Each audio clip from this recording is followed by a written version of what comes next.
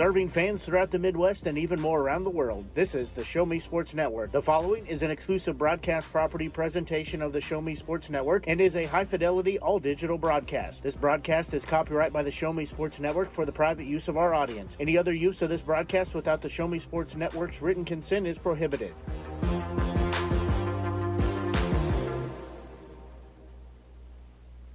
Network broadcast crew is ready in the Doc and Norm Direct broadcast booth. Exclusive pregame coverage of Jefferson City Renegades baseball is brought to you by Animal Medical Center of Jefferson City, Avon with Michelle Carty, Boone County Journal, Centurion Cares, Christopher Scott, Farmers Insurance, Doc and Norm Direct, Eddie Goodell Society, Han Custom Laser Engraving LLC, Hoslog Landscaping and Design, Last Sentinel Firearms, Retrieving Freedom, River Oak Christian Academy, Sawdust Studios, State Tech of Missouri, and Walk Off Wood Bat Company. The excitement is building in the stands, and the tension is rising in the dugout as first pitch is just around the corner. You're listening to exclusive coverage of Jefferson City Renegades baseball on the Renegades Radio Network and the Show Me Sports Network. And a very pleasant good evening, everyone. Blake Gazaway here with you, joined by Ben Schmidt as we are set for game two of our doubleheader as the Carroll Merchants, who sit at 13 and 12 on the season, facing off against the Jefferson City Renegades, who sit at 9 and 11 on the season. Again, these two teams matched up for game one of two as they match up here. First game went in favor of the uh, Merchants as they won by a seven to nothing uh, put out shutout win in a game that uh, really not a whole lot to describe it other than it was all Merchants all game long this is quite the different introduction than what we're used to, and it's pretty cool to see because usually when we have these the lineup introduction for the Renegades, they call one by one, and when the player and their spot in the lineup is introduced, they they all jog out to their respective positions. But right here, what just happened, there was a meeting between the starters just off the third base line, and then they all sprinted out to their respective positions at once. So kind of a cool team thing there. Maybe they're just switching things up, hoping to get some good mojo going before game two here. Well, I think really ultimately the deciding factor is the fact that we're ready to play baseball. We don't have the time to do all the pomp and circumstances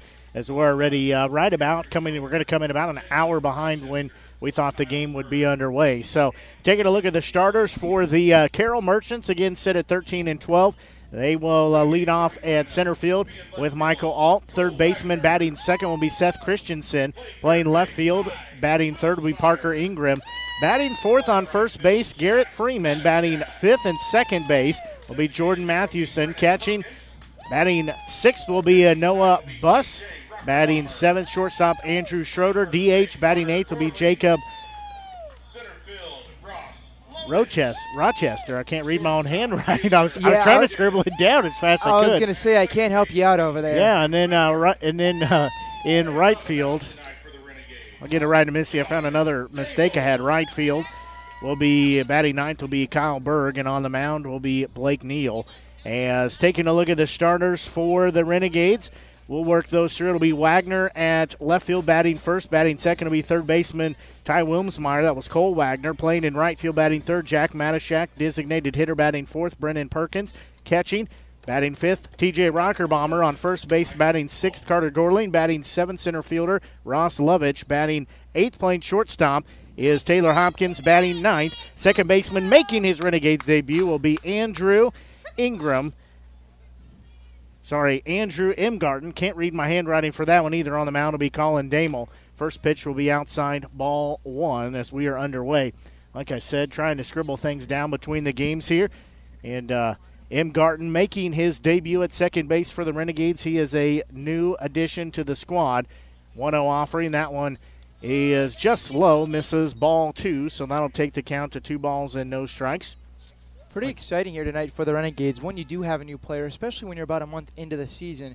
Could hopefully, at least I think they're hoping, maybe be a spark plug both on offense and defense. That pitch, that one down central. It takes the count, two balls, one strike. As on the mound is Damel. Damel, a sophomore right-handed pitcher from Emporia State. He hails from Overland Park, Kansas, is where he is from. That pitch, that one misses. bounces away from Rocker Bomber.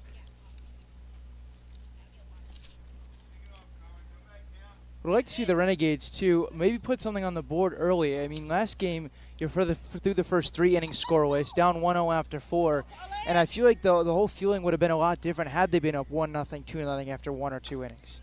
That one caught the uh, outside part of the plate for called strike number two, as Damel listed at 6'3", 200 pound right hander. So now they will have the payoff pitch. That one misses, so a leadoff walk issued to Alt. As for Alt, he is uh, from Appleton, Wisconsin, plays at Lewis University. Now this will be third baseman Seth Christensen. As for Christensen, he is from Victor, Idaho, plays at Dakota Wesleyan University.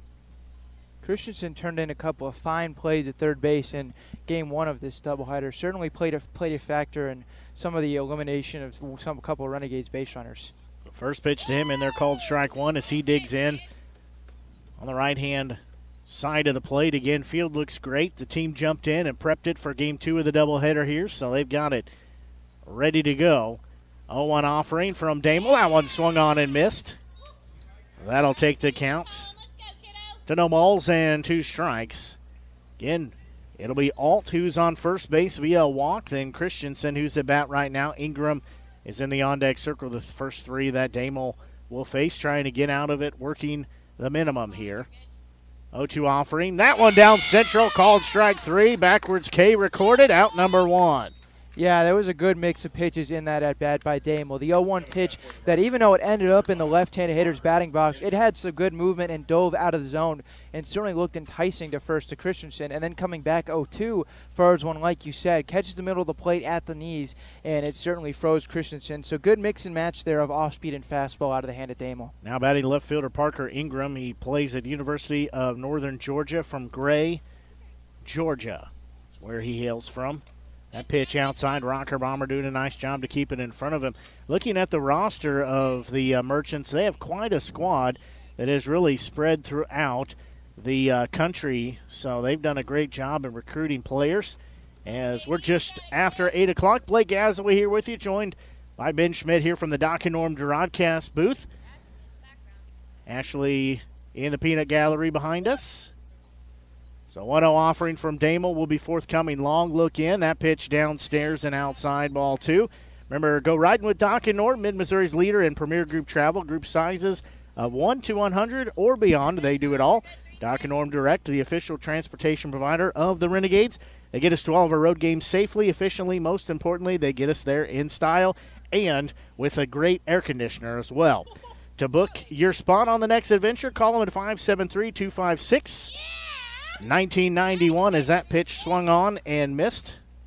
Now in strike number one. Now in a 2-1 count to Ingram, I don't know how enticed I'd be to give him a good pitch to hit because we saw in the first game when he got one pretty much right down central, he deposited it over the left field wall. Really no doubt whether that one was going to leave the yard. So certainly has the power to send one out of here. So two balls and one strike. Damel's next offering swung on and missed. We'll leave in the count at two and two.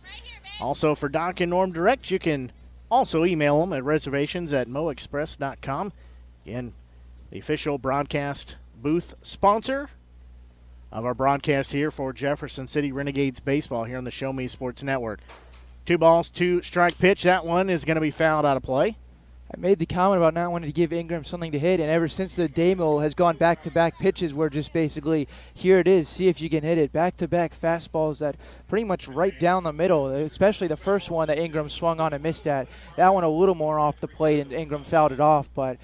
It, it certainly does not look, despite the result of last game, that Damo is afraid to, to pump a strike in there to a dangerous hitter. Well, Damo will look in. He'll get the sign from Rocker Bomber. Looks over, checks the runner at first. Now he'll get set on the rubber, Snap look at home. There's the 2 2 pitch. Strike three called. Back to back strikeouts looking and back-to-back great pitch location and good mix and matching of pitches too. Just had the back-to-back fastballs, one swung on a miss and the foul ball, and then in a 2-2 count, Damel goes with the off-speed and basically froze Ingram. I don't think he was expecting him to go back to the to the slower pitch there, and nothing really that Ingram was going to do except leave the bat on his shoulder. So now this will be first baseman Garrick Freeman. He plays at Iowa Western Community College. He is from Papillion, Nebraska. Snap throw to first. Runner back safely. Might have butchered that. He's from Nebraska nonetheless. So first pitch was strike one for Freeman. Freeman was the one who left the game in the first game, so interesting to see that they pulled him, maybe just in part because they were up by so much, but now back in the lineup. So no balls and one strike. Damel looks in. He'll take a deep breath. 0-1 offering, swung on and missed for strike number two, so he's going to be ahead in the count.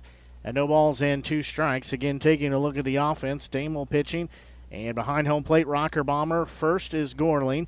Then over at second base is Imgarten. Shortstop is Hopkins. Wilmsmeyer on third. And then left to right in the outfield was Wagner, Lovich, and Matashak. 0-2 offering that one fouled off, so we'll do the 0-2 again.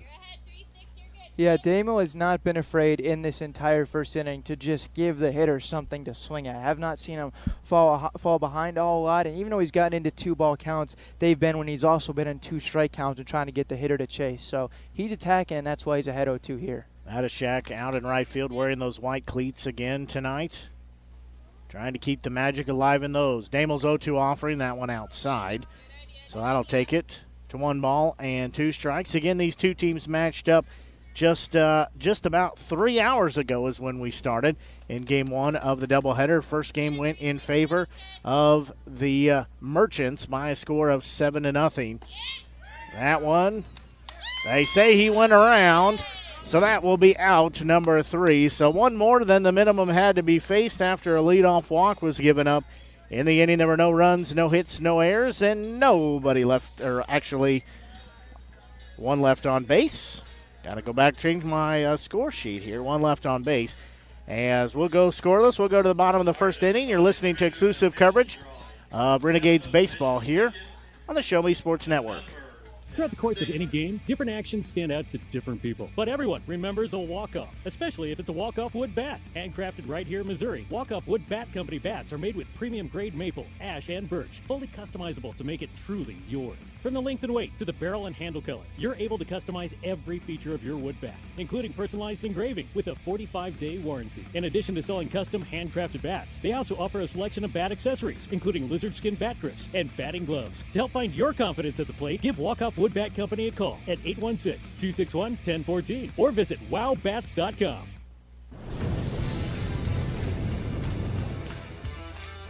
We are State Tech. We are hands on education. When you choose the number one two year college in the country, you know you will be ready for your career. That's why at State Tech we say, from the classroom to your career, we are the employer's choice. We are State Tech.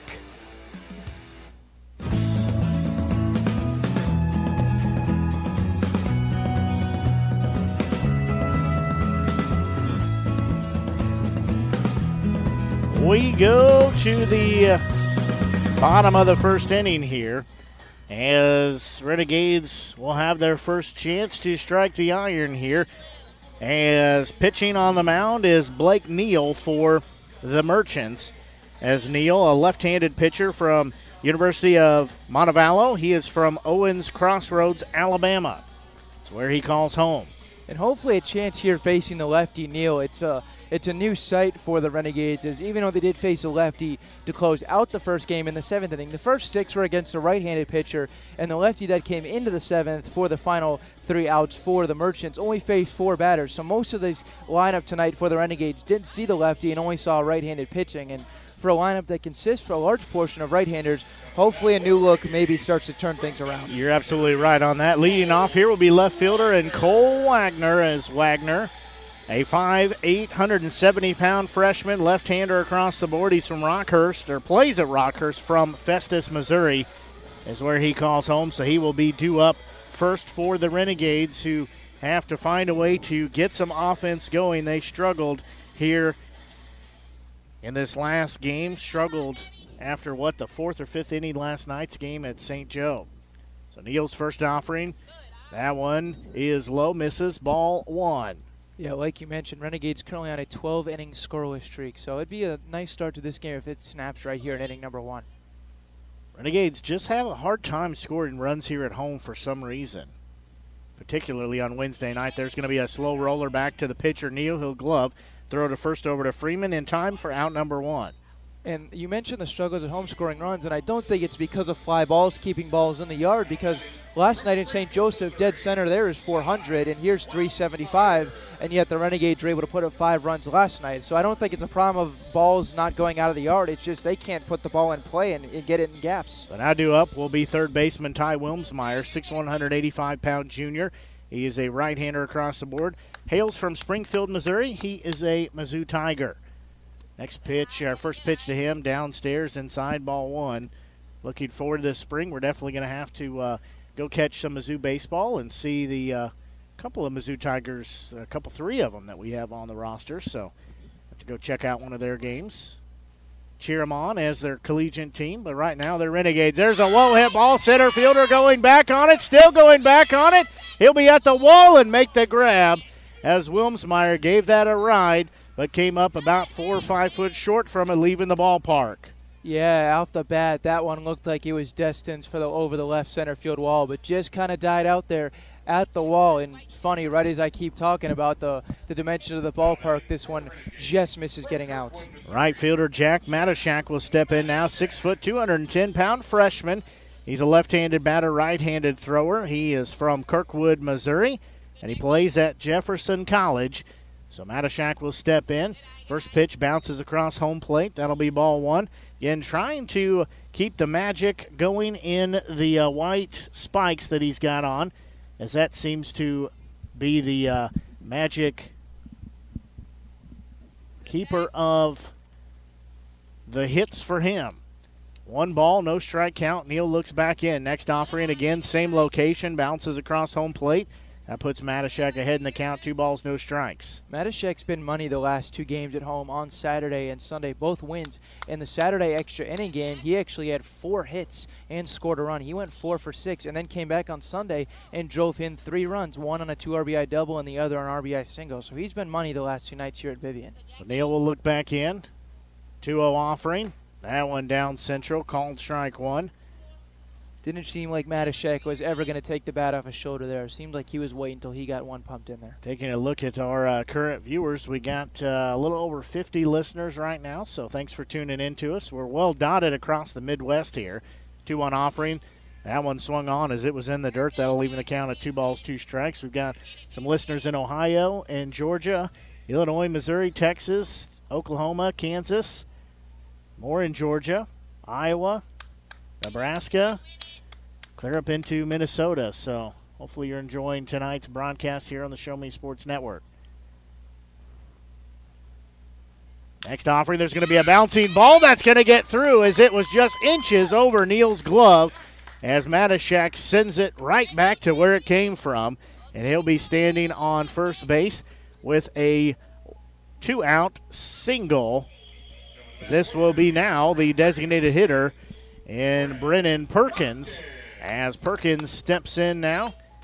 He is 5'11, 195 pound sophomore. He is from Prairie Village, Kansas. Plays at Truman State, right handed batter, right handed thrower. Actually, know right where Prairie Village is. I believe they're are they the Buffaloes? Prairie Village Buffaloes? Oh, that's Prairie View. Okay, I don't know where Prairie Village is. I thought I knew something that one in the dirt. Ball one going back to Matashek as well, I mean, you see why he's batting third tonight because, man, especially here the last couple nights, is he hitting well. It's a shame that he had to miss a couple games last week due to the hand injury. Otherwise, we'd probably be looking at a 9 or 10 game hitting streak. And I think the games before and after that, I, I believe he's gotten at least one hit in every game. So one ball, no strike count. Neal will look back in now. Check the runner at first, second. Look back in at Matashak. Now deliver the pitch. That one's going to be a bouncing ball. It'll be gloved at short. Flip to second for out number three, as that will end the inning. However, Renegades got a little bit of life going, so we'll take a quick break and be back as we'll go to the uh, top of the second inning. You're listening to exclusive coverage Renegades baseball here on the Show Me Sports Network. River Oak Christian Academy has been providing a strong biblical foundation and academic excellence within a Christian environment to students for more than 16 years. Located in Jefferson City, River Oak Christian Academy offers kinder prep through 7th grade with 8th grade to be added in the 2023-2024 school year. River Oak Christian Academy's primary goal is the discipleship of the next generation to impact the world for Christ. Average class sizes are just 16 students with a student body composed of families from over 30 area churches. Kinder prep offerings include three and five full-day sessions, with kindergarten offering a half-day and full-day programs. To find out more about River Oak Christian Academy, call them at 573-634-3983. Since 2018, Han Custom Laser Engraving LLC has been specializing in all things custom, using large format, high powered lasers with some of the most advanced technologies on the market. Anything can become a canvas. This state of the art system makes quick work of custom engraving on cups, glass, tile, wood, acrylic, metal, headstones with endless possibilities. They also offer custom one of a kind signs that are sure to make your design stand out. Find them on Facebook at Han Custom Laser Engraving or call 573 489 8732 to find out more. on Custom Laser Engraving LLC, a veteran owned business.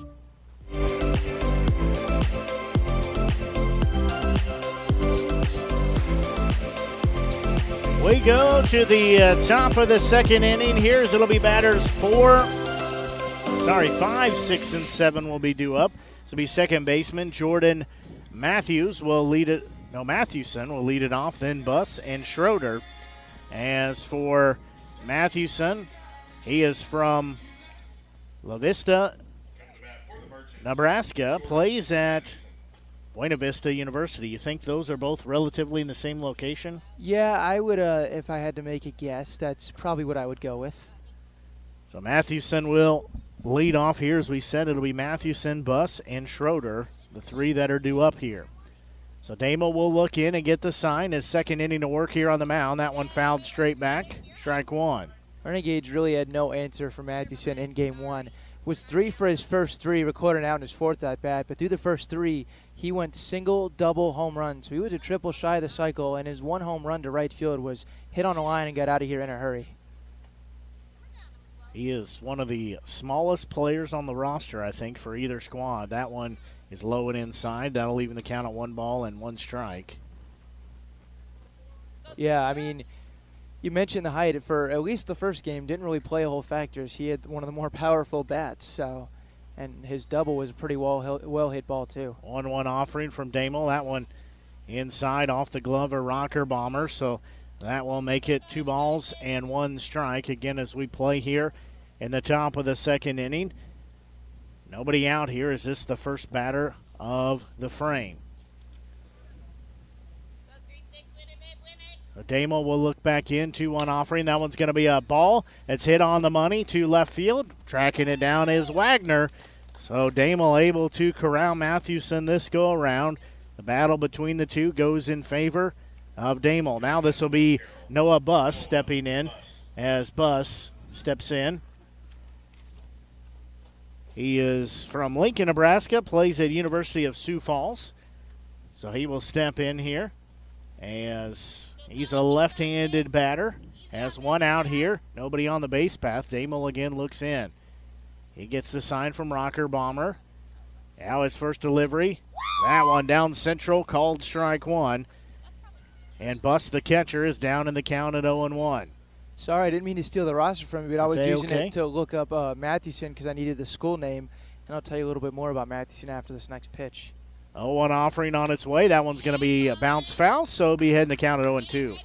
So Mathewson, we talked about the size, standing at 5'7", but certainly a whole lot of power on that bat. Over 24 games uh, his last season, first team all conference, and hit 340. So definitely earned his starting spot for the Merchants for sure. Damel again, long look in 0 2 offering. That one a bit high and a bit outside, so that'll make it one ball, two strikes. Damel getting the start here. Last year he came to the Renegades and was an infielder, played a lot of short and second base. That was in June, July. He turned pitcher, and he's back this year to work on the mound for the Renegades. That one's going to be a well hit ball. Wilmsmeyer is going to go over and get it, but not before it takes a couple of bounces, and it'll be a one out single for Buss as he will be standing on first base. Seen a couple left-handed hitters right, now. That is, you're right. That is Lovich, my My bad. Seen a couple left-handed hitters now for the Merchants try and take the ball the opposite way. Had the left-handed hitting Mathewson go out to left, it wasn't out, and then right now another left-hander. This one gets down for a hit. So seeing these these left-handed batters for the Merchants really be able to hit to all fields. Mer- or Mathewson last game, a couple of his hits both went to left and right, and now two lefties doing it again here in this game. So this will be the shortstop, and Andrew Schroeder stepping in. He's from Illinois. I am also from Illinois. First pitch outside, ball one. How do you say that town then? Let's see. Mundelein. Mundelein? Oh, that's where my grandparents live. Mundelein. Mundelein. Mundelein, Illinois. Plays at Iowa Western Community College. I'd have been close, but not exact. That one inside, ball two. Schroeder dropped down in the lineup here in game two. Hit leadoff was not really a factor when it seemed like pretty much everyone else was for the Merchants in game one. Damo will check on the runner at first base. That's Buss. Long look in again at home. Now is 2 0 offering. That one upstairs and outside. So the count will go to 3 0. Damo's retired three batters by way of two backwards K, one forward K, and also given up a walk than the first batter he faced in the game. Again, he'll look in. Now he'll toe the rubber, get set. 3 0 offering. That one outside, so a four pitch walk issued to Schroeder. So now a little something brewing for the Merchants. Runners on first and second. Meaning at the mound happening too is Rock Bomber's going to go out and speak with Damo.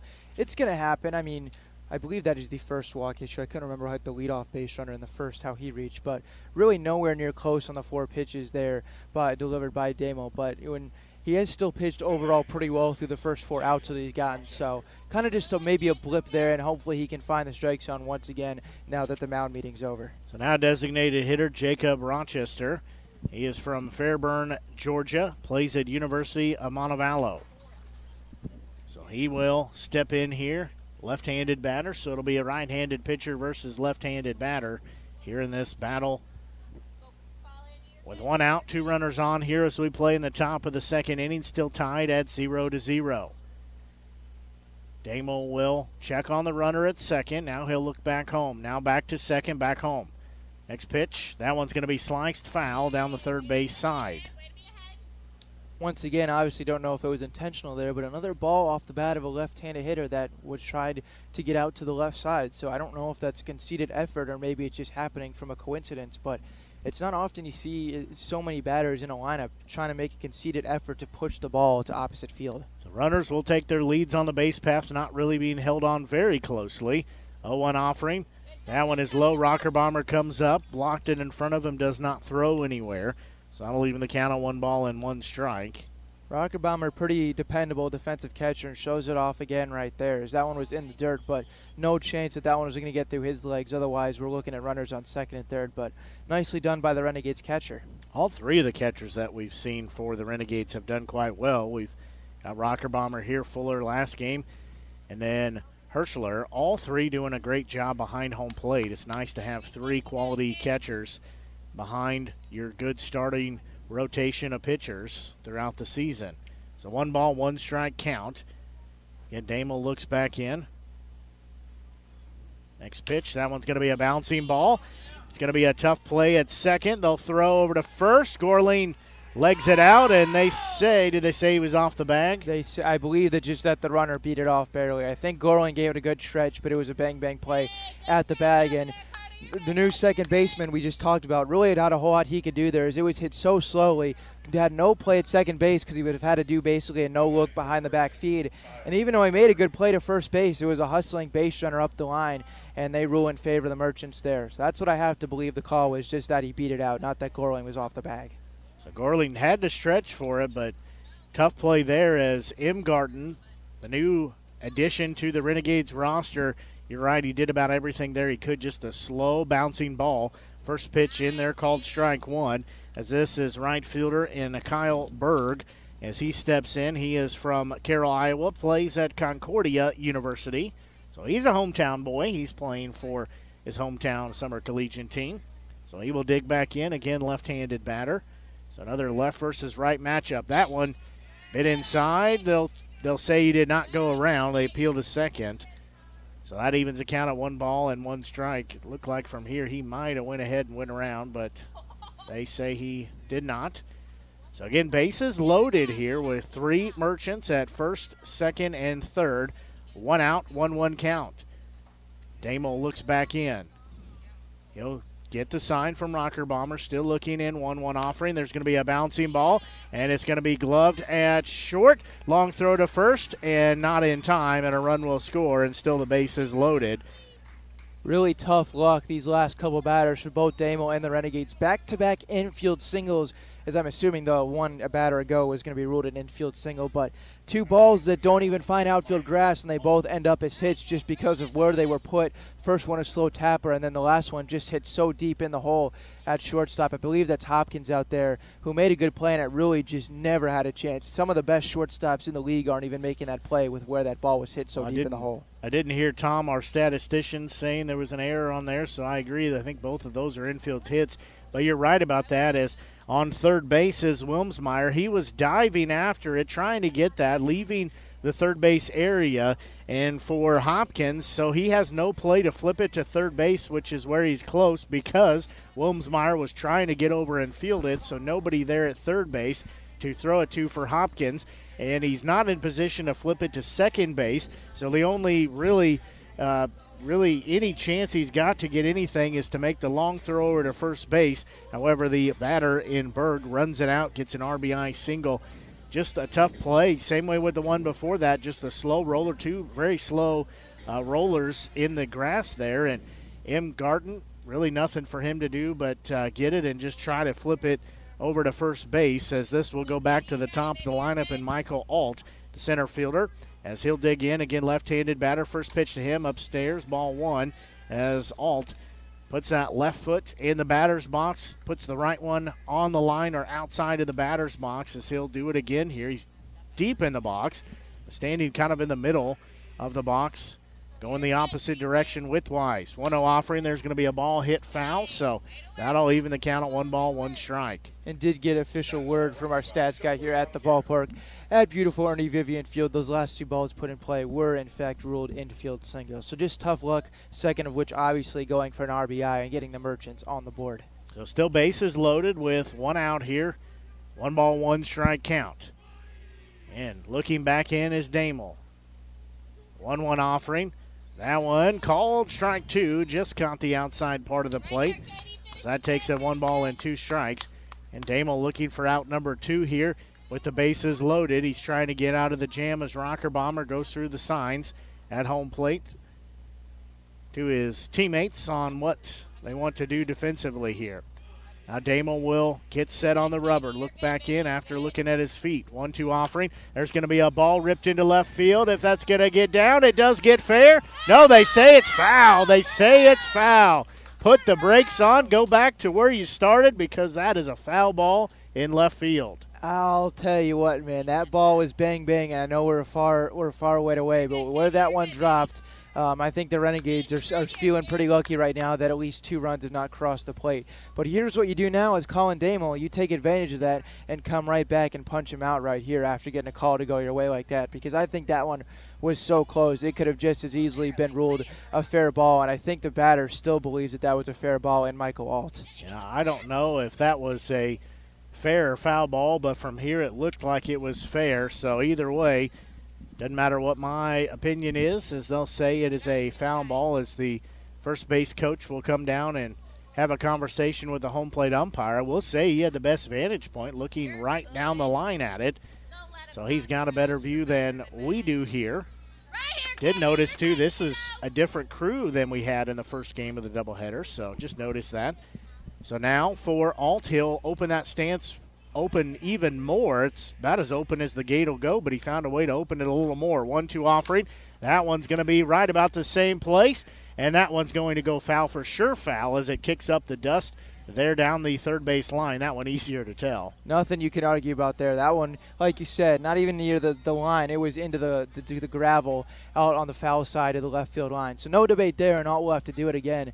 And Damo really continuing to battle. You're not even – trying to make this thing close to where he could potentially lose all. Still had one and two, and despite giving up all the base runners this inning, has not had a lack of control outside the one four pitch walk. So Damo will look back in as he's through the stretch now. Has been for the last several batters. Again, bases loaded. He'll check the runner at second, not being held on there. 1 2 offering. That one's going to be a ball, and it's going to be over the head of Hopkins, so one run will score. They'll throw to third base. Wilmsmeyer has it out at third. So they get the run, but they get it out as Wilmsmeyer gets it and tacks the bag for out number two as a good play right there from Wagner. Knew what the situation was and got the out. Incredible heads up defense there by Cole Wagner. As even though that ball was hit hard, it looked like Hopkins would have a leaping leaping chance at it. And the runner on second, not wanting to be doubled off, just had to hold. And with it being hit so hard, Wagner on one hop fired an absolute strike to basically Wilmsmeyer standing right directly on top of the bag and about a second in time to get the force out at third base. So force out there. That's two outs. Two runs, though, have been plated here in the top of the second inning. Damo will step off as he'll get the runner back on second base. That's Berg as Berg goes to second with the single. On first will be Ott. So Alt, rather. We have an Ott, they have an Alt. That pitch in there for called strike one. Still got to get Christensen here, but that play by Wagner delivered to Wilmsmeyer at third base could end up being huge. Really a pick me up for the pitcher Damo. And now let's see if we can pay his defense back by getting the last batter Christensen and keep this a 2 0 game. So no balls and one strike. Next pitch. That one down central, called strike two, as Damo looking to end the inning here by way of a punch out. As Christensen 0 for 1 has a strikeout looking in his only at bat so far here in game number two. Expect him to go low and away here on this 0 2 pitch. So Damo will look back in. Long look in. He'll check second. 0 2 offering. There's going to be a ball that goes foul. Just about took out his teammate in the on deck circle. I don't know. We've talked about it. I don't know what the tensile strength of the netting is, but I can tell you it's least it is at least one Parker Ingram. He he fell completely back into that net and if not for the net, he would have fallen onto his back. But it was enough to hold him up. So, like you said, enough weight to hold up. I didn't remember what the weight was when he read it off of Parker, but at least that much the net can hold. So still 0-2 as Damo will check on the runner at second. Now look back home, back to second, back home. 0-2 offering. It's going to be a bouncing ball. Gorling will glove at first. He'll flip it underhanded to Damo for out number three. So it goes as a 3-1 put out here to end the inning. However, there were a couple of runs plated in the uh, frame for the Merchants as they lead by a score of two to nothing. So we'll take a quick break and be back as you're listening to exclusive coverage of Renegades baseball here on the Show Me Sports Network. MoEx Doc and Norm Direct is back better than ever. Much more than your number one ground shuttle transportation service to St. Louis Airport. Yes! MoEx Doc and Norm Direct is Mid Missouri's leader in premier group travel, sporting events, concerts, wedding receptions, the lake, winery trips, Branson, plaza shopping, reunions, pub crawls. Group sizes from 1 to 100 or beyond. We do it all. Remember, we want you to ride MoEx Doc and Norm Direct. At Centurion Cares, for more than three decades, their focus has been on exceeding customer expectations for contact center software solutions. Their innovative communication solutions include utility interactive voice response software that allows for smart communication features that let your utility deliver superior customer service 24 7. They also provide other streamlined services like automatic call distribution, automated customer callback, reporting, and quality assurance. To find out more about how Centurion Cares can help your business, call them at 727 421 5300 or look them up online at centurioncares.com. Centurion Cares, innovative communication solutions.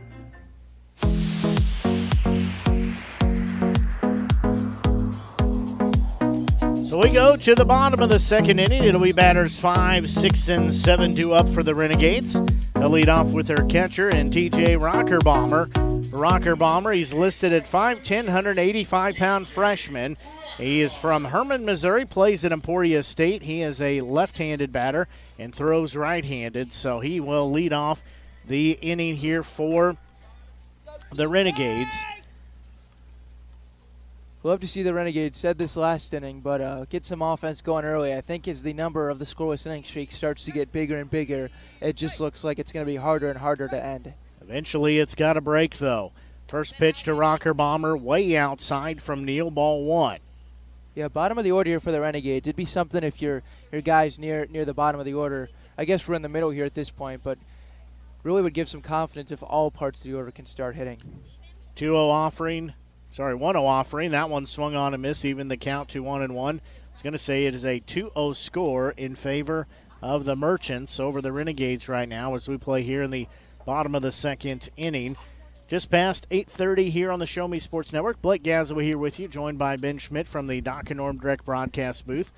Whether you're listening by way of the app or the media center, we're just glad you're tuned in. As that one down, Central called strike two takes the count to one ball, two strikes. So we're glad you're tuned in. However you're listening, either way, on our media center, ShowMeSportsNetwork.com, or our free app that you can download from your App Store on Google or Apple. We're just glad you're tuned in. Also, head over to our Facebook page, Show Me Sports Network. Give us a like, give it a share. That one fouled down the first base line, so we'll still stay at one ball and two strikes. So that was an electric play by our first base coach. On a hop, fielded the Rocker Bomber foul ball, and actually the Merchants dugout showed him some love too. They went crazy when he barehanded that ball. Yeah, good play there in the first base coach's box. So one ball, two strike count. That's Tyler Brock, one of the assistant coaches.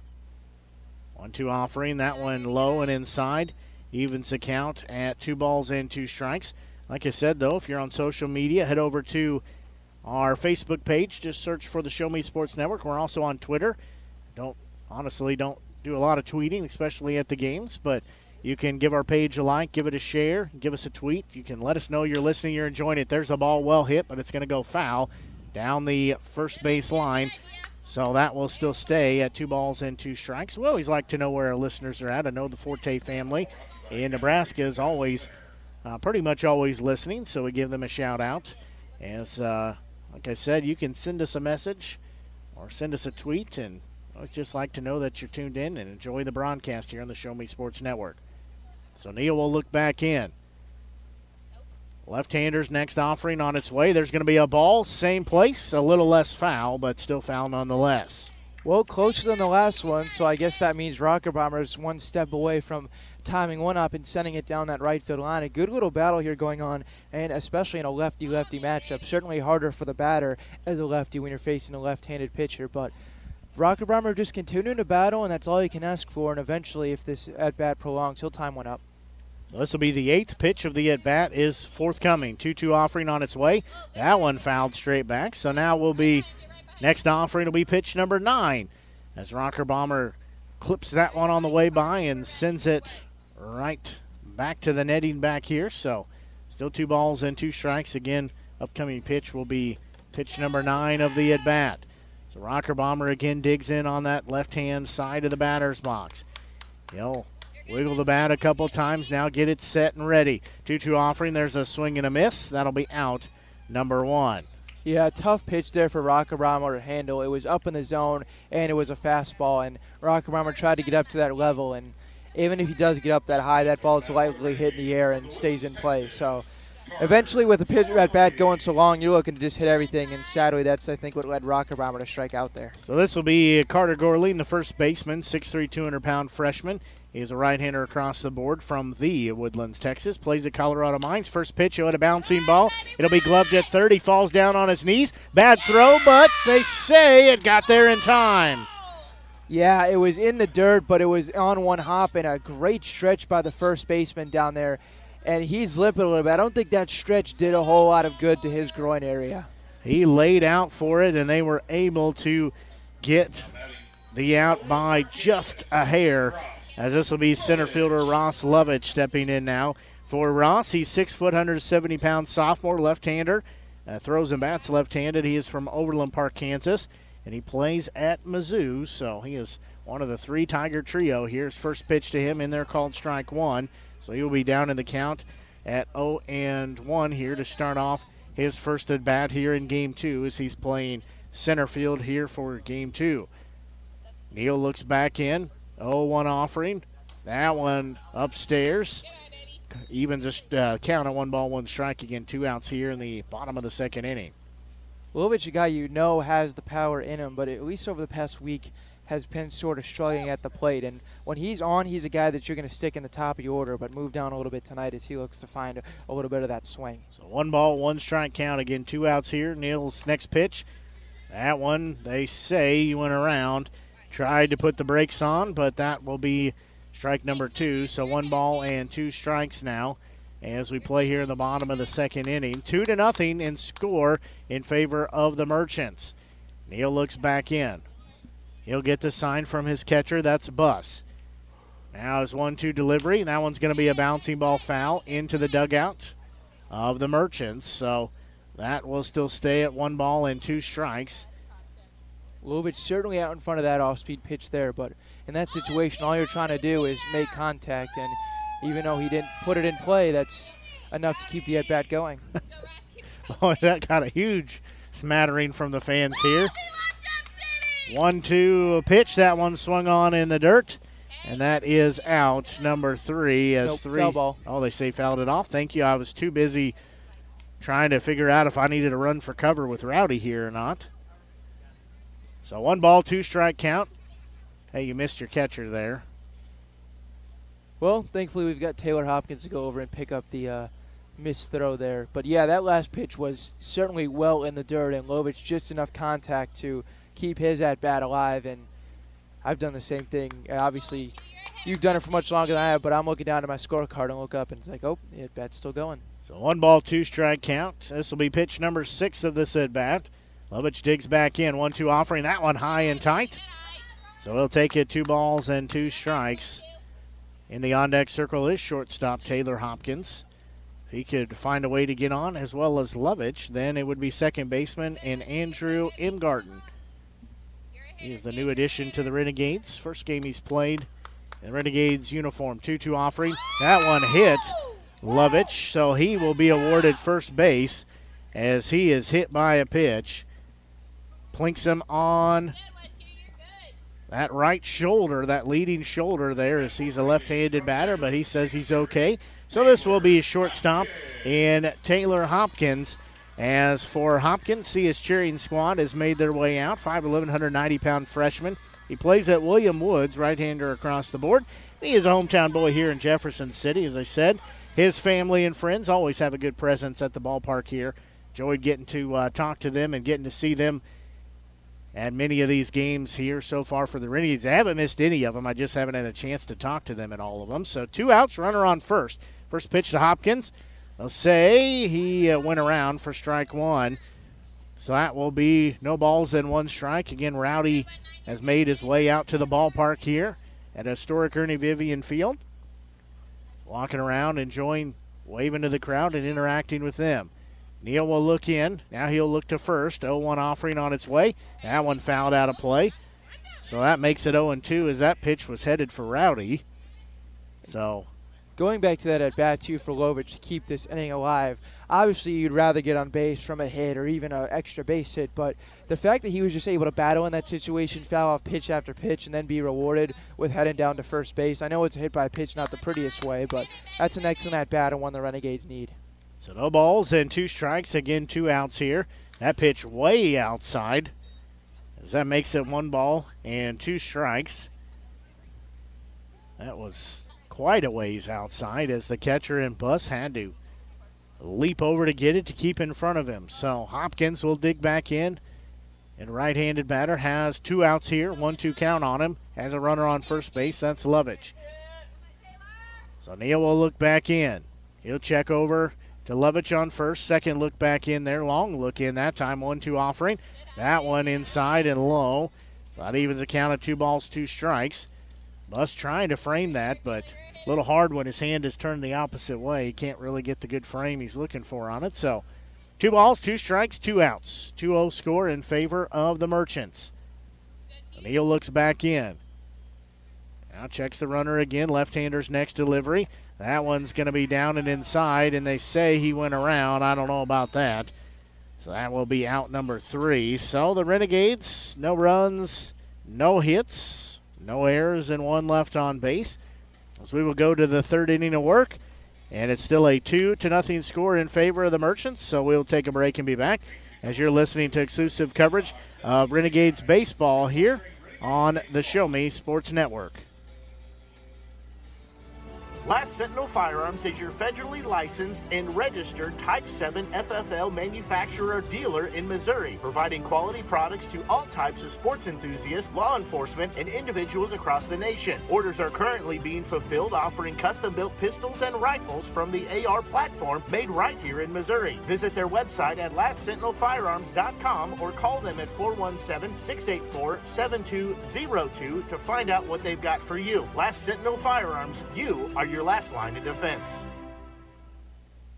Running out of some of your favorite Avon products and haven't seen an Avon brochure in quite some time? No need to worry. Avon Independent Sales Representative Michelle Carty can help with your skin so soft, makeup, jewelry, fragrance, and skincare needs. Avon now carries cleaning supplies, clothing, daily essentials, and several small LG electronic items. You now have the opportunity to shop online 24 7 and have your order shipped directly to your front door by shopping with Michelle at mcarty.avonrepresentative avonrepresentative.com or find her on Facebook by searching Avon Carty.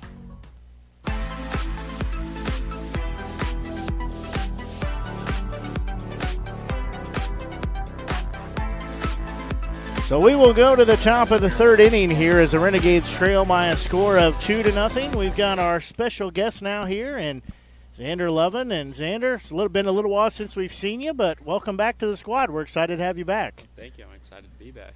You spent some time with the Renegades last season. We spent all season with the Renegades, and then uh, you had a chance to keep uh, keep pitching and uh, play in the Northwoods League a little bit. Yes, I did. That was a lot of fun.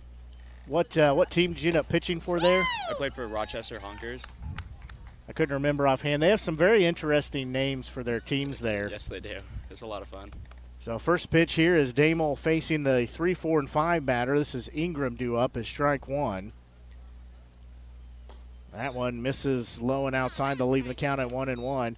So last year you had uh, you had some good showings with the Renegades. You were pivotal down the stretch there for us, and then uh, like we said, had a chance to keep going after the season. But what uh, what made you want to come back to the Renegades this year? Well, it's close to home, and I like the environment, and just yeah, and the team. And there's lots of guys from last year that are coming back as well, so it's nice to see them again.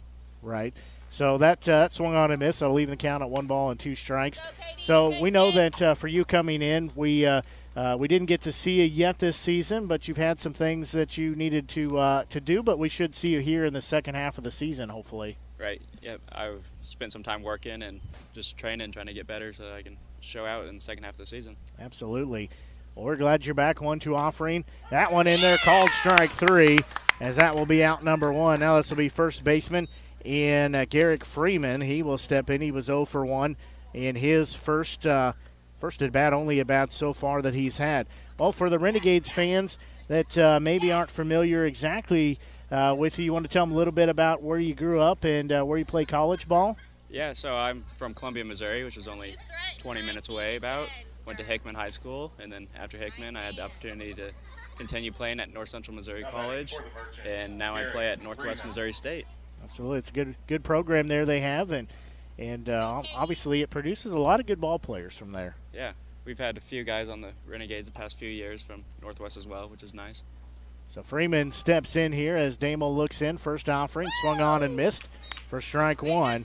So any uh, any different looks we may see from you this year, or still going to bring kind of the same heat you had last year? Um, I'm starting to develop a cutter that I might try to work in. I've talked to TJ, the catcher, about it, getting it called. So we'll see. It's work in progress. Right, right. Yeah, and this is a good time too with the uh, with the summer to kind of work on those things. You get a chance to maybe develop a little bit. That one misses low. That'll even the count at one and one. Do you know when uh, when we may see you on your first start? Uh, I was texting coach today, and I think I'll probably appear in Sunday's game. Okay, well that'll be good. Like.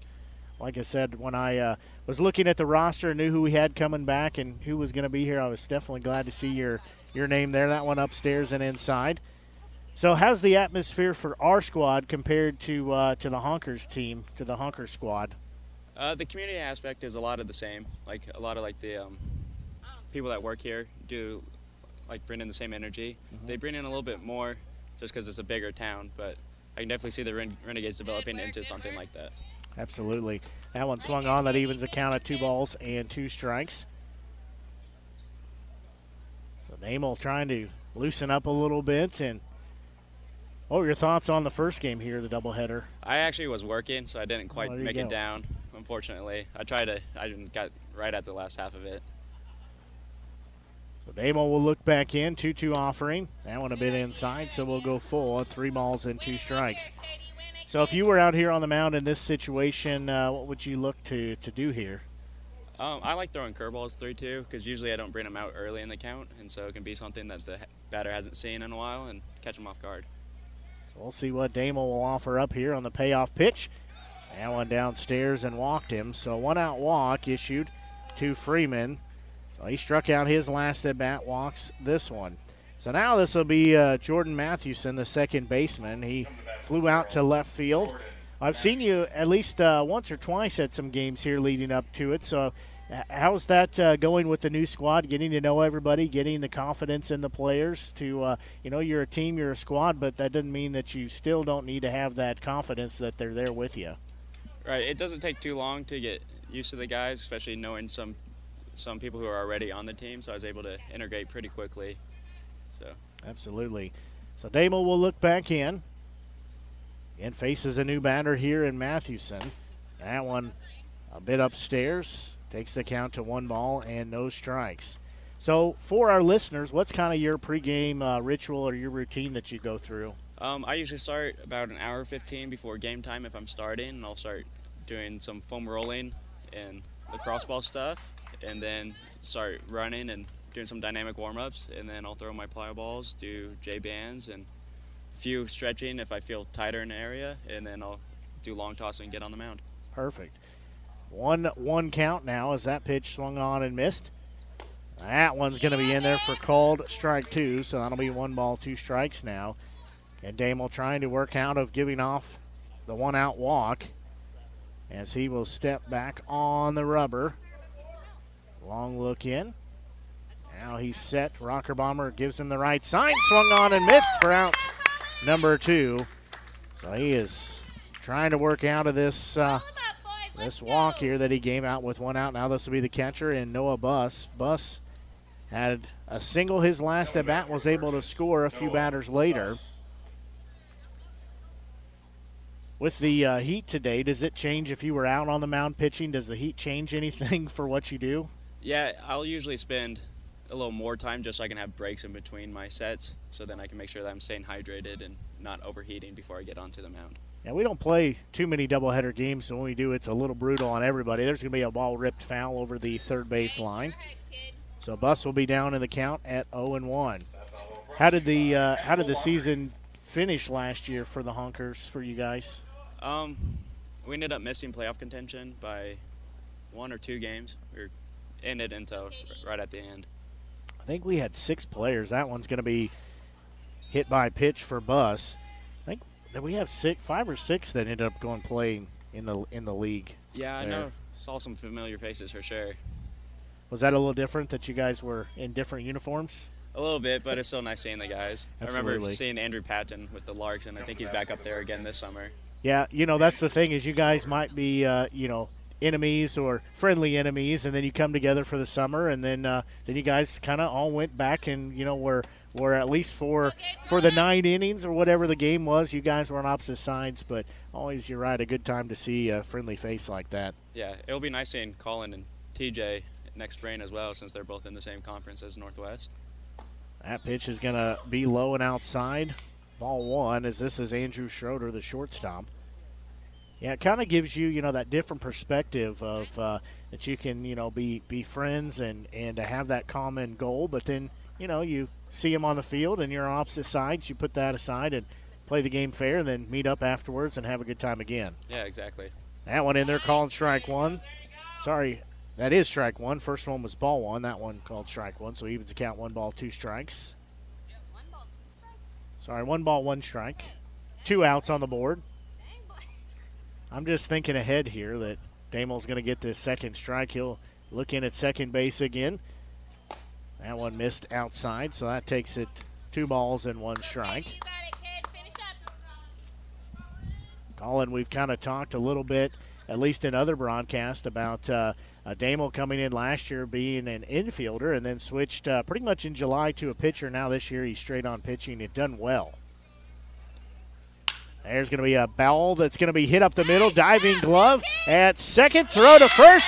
Just say in time for out number three. That goes as a 4 3 put out to end the inning as Imgarten redeems himself from the play earlier that he had no throw on. As he stops that, gloves it, throws to first in time, and that retires the top of the third inning. Well, we're going to take a quick break and be back. Uh, Xander, any final thoughts before you get out of here? I'm excited to be back with the team. Well, we're glad to have you back. Appreciate you taking time to come up and chat with us. So I'll let you get back to the dugout here. So we're going to take a quick break and be back as you're listening to exclusive coverage Renegades Baseball here on the Show Me Sports Network.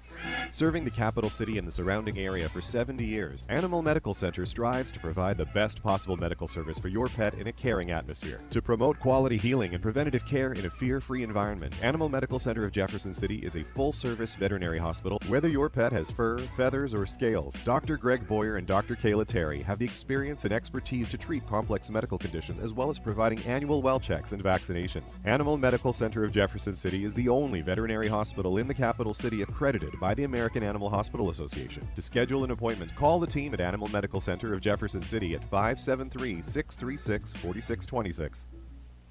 At the Boone County Journal, we're with you all the way. We know that you're more than just a subscriber. You're an employer, you're a parent, you're a neighbor.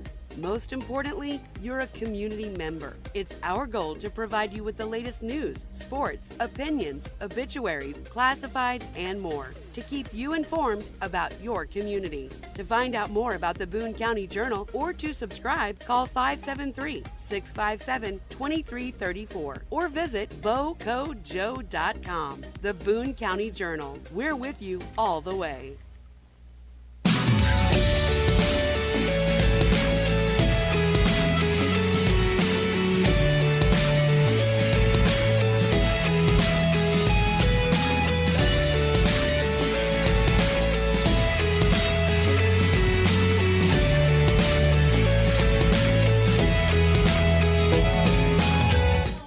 We go to the bottom of the third inning. This will be Andrew Imgarten. I don't have any information on Imgarten. So he is a new uh, player for the Renegades. Work on getting that for him. As he is a left handed batter playing second base today. So he will lead off here in the inning. That pitch low and outside. That takes the count to one ball and no strikes. We're having a few technical issues trying to work through those. Get us back on air here. One ball, no strike count. That next pitch, that one is low, so that'll make it two balls and no strikes. Again, this batter's nine. One and two coming to plate.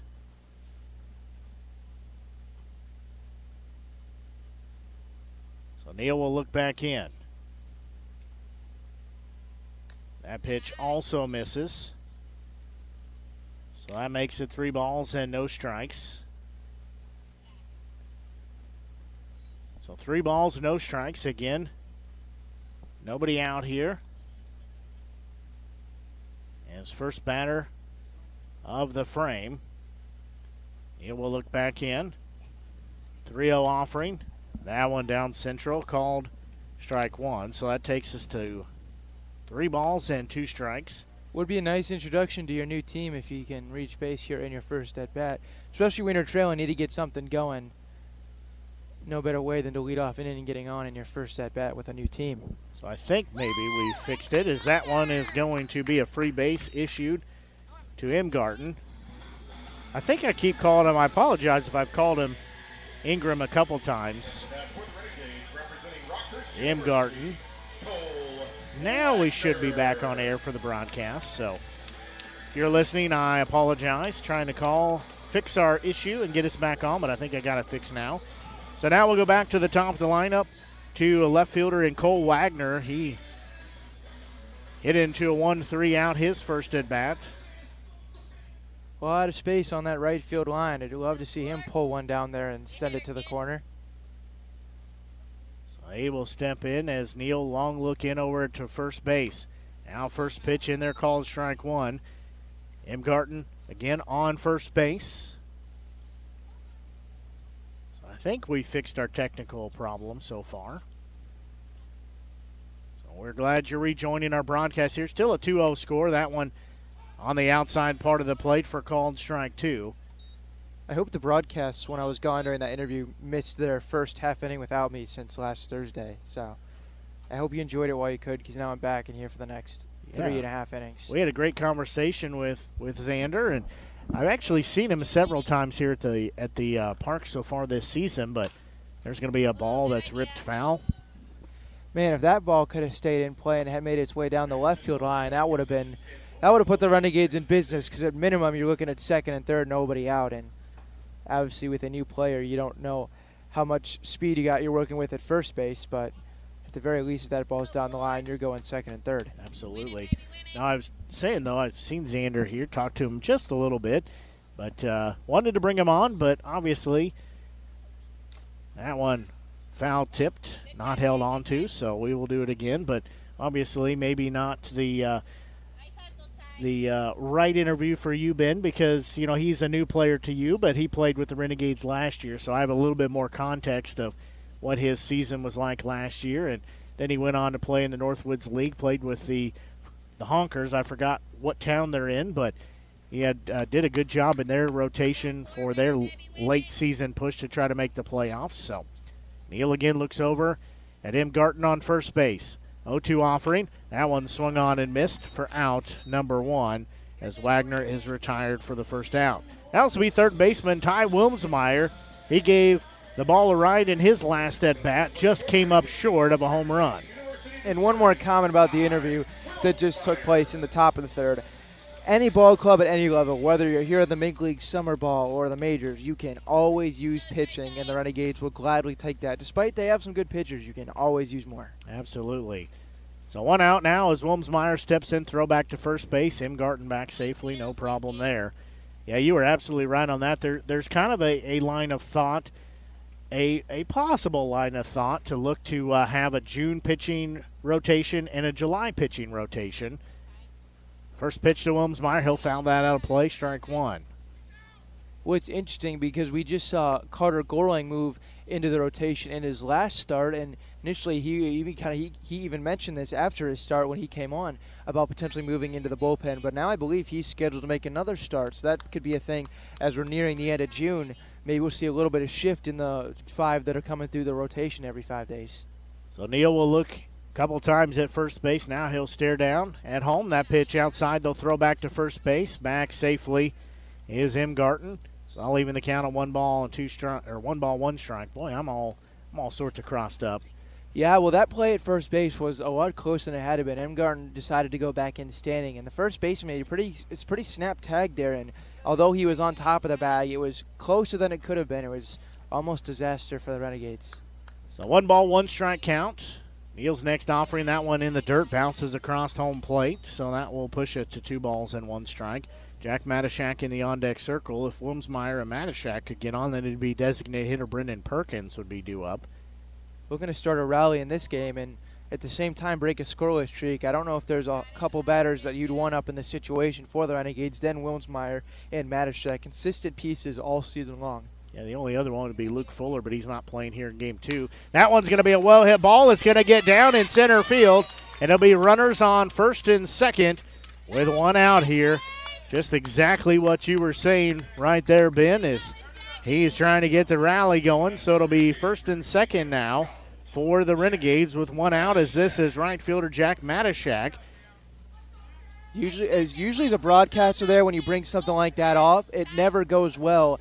And based on the law of the broadcaster jinx, Ty Wilmsmeyer really should have grounded into a double play there, but he made me look good and absolutely smacked the ball into center field. That ball was hit on the nose.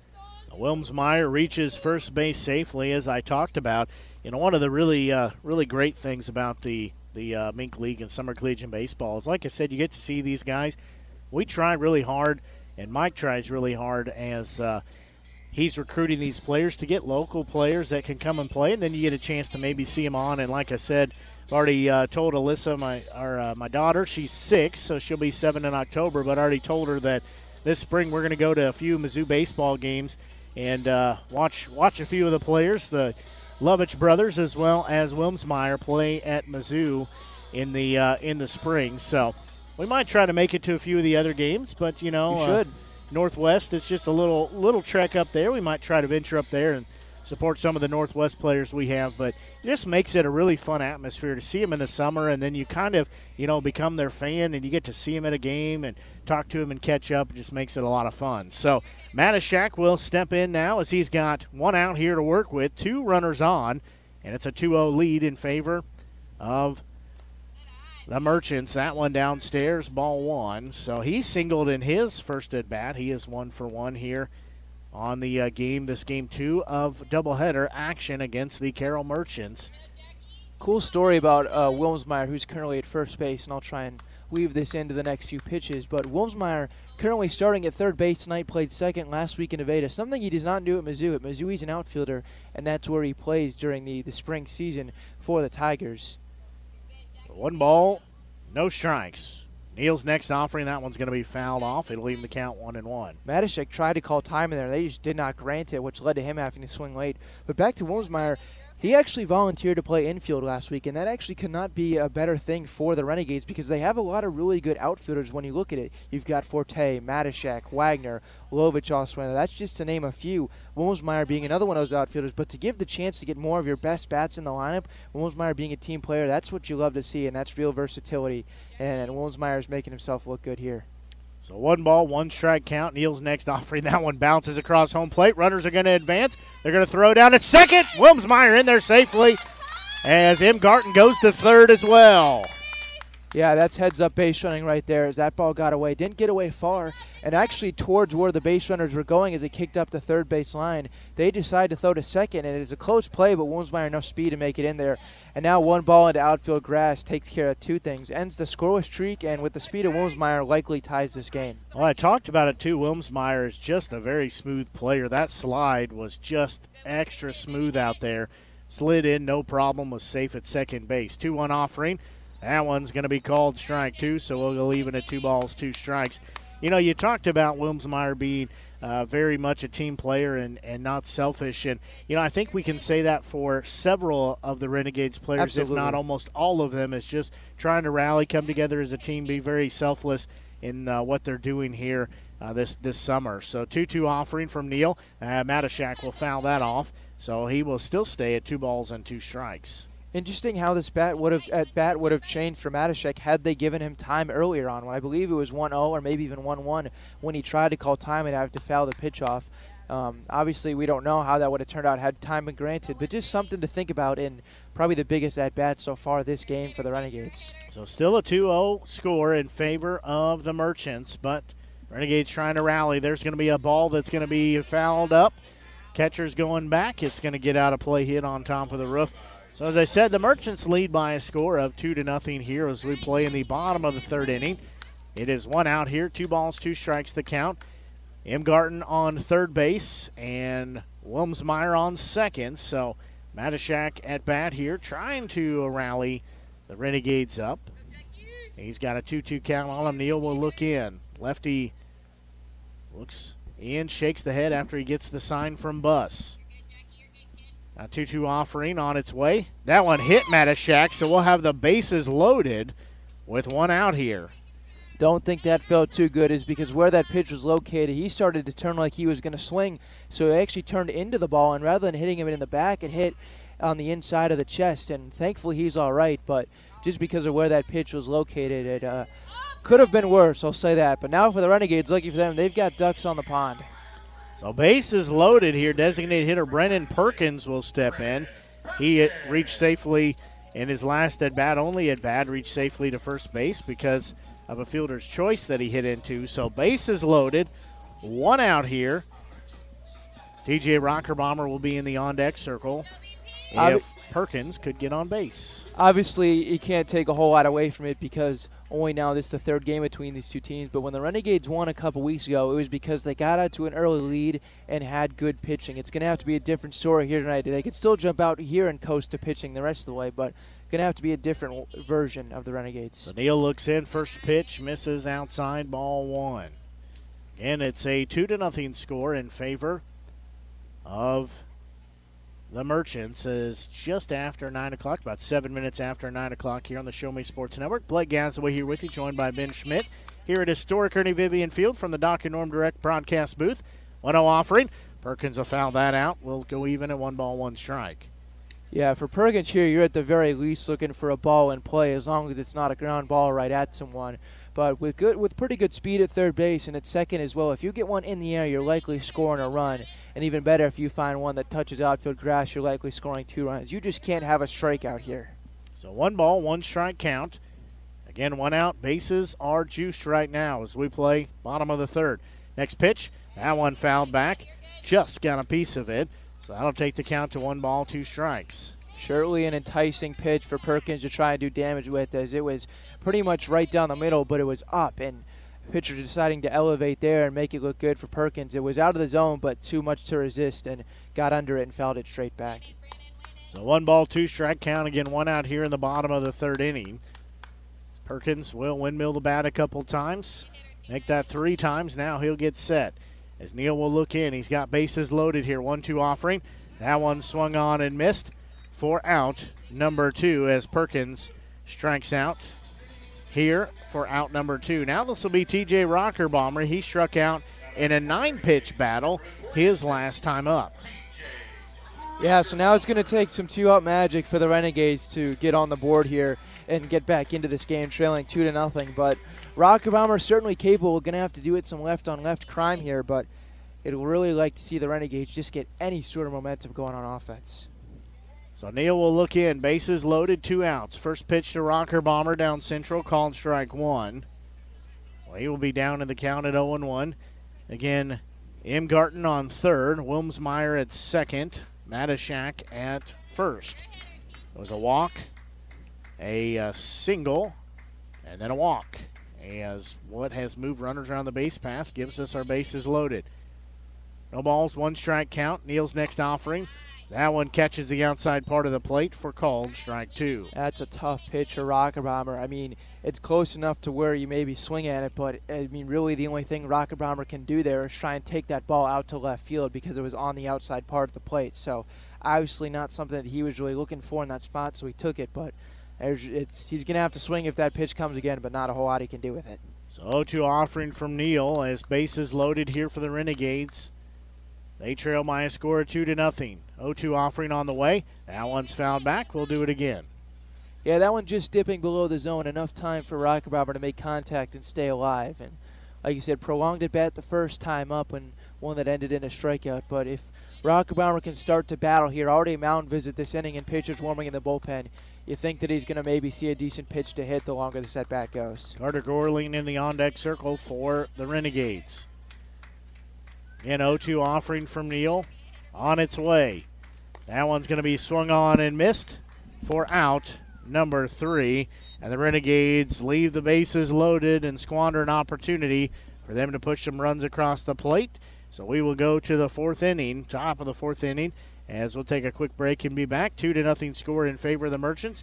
You're listening to exclusive coverage of Renegades baseball here on the Show Me Sports Network.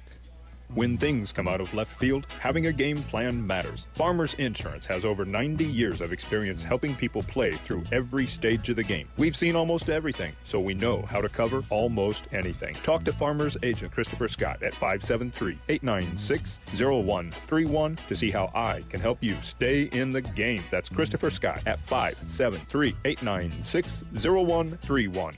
We are farmers. Bum, bum, bum, bum, bum. Underwritten by Farmers Truck Fire Insurance Exchanges and Affiliates. Products not available in every state.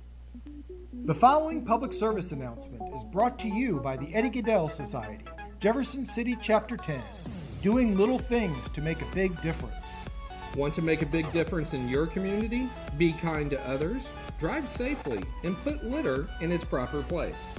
Join us in celebrating Eddie Gaedel's historic Major League appearance as a member of the St. Louis Browns by doing something nice for someone today. Take a walk, Eddie.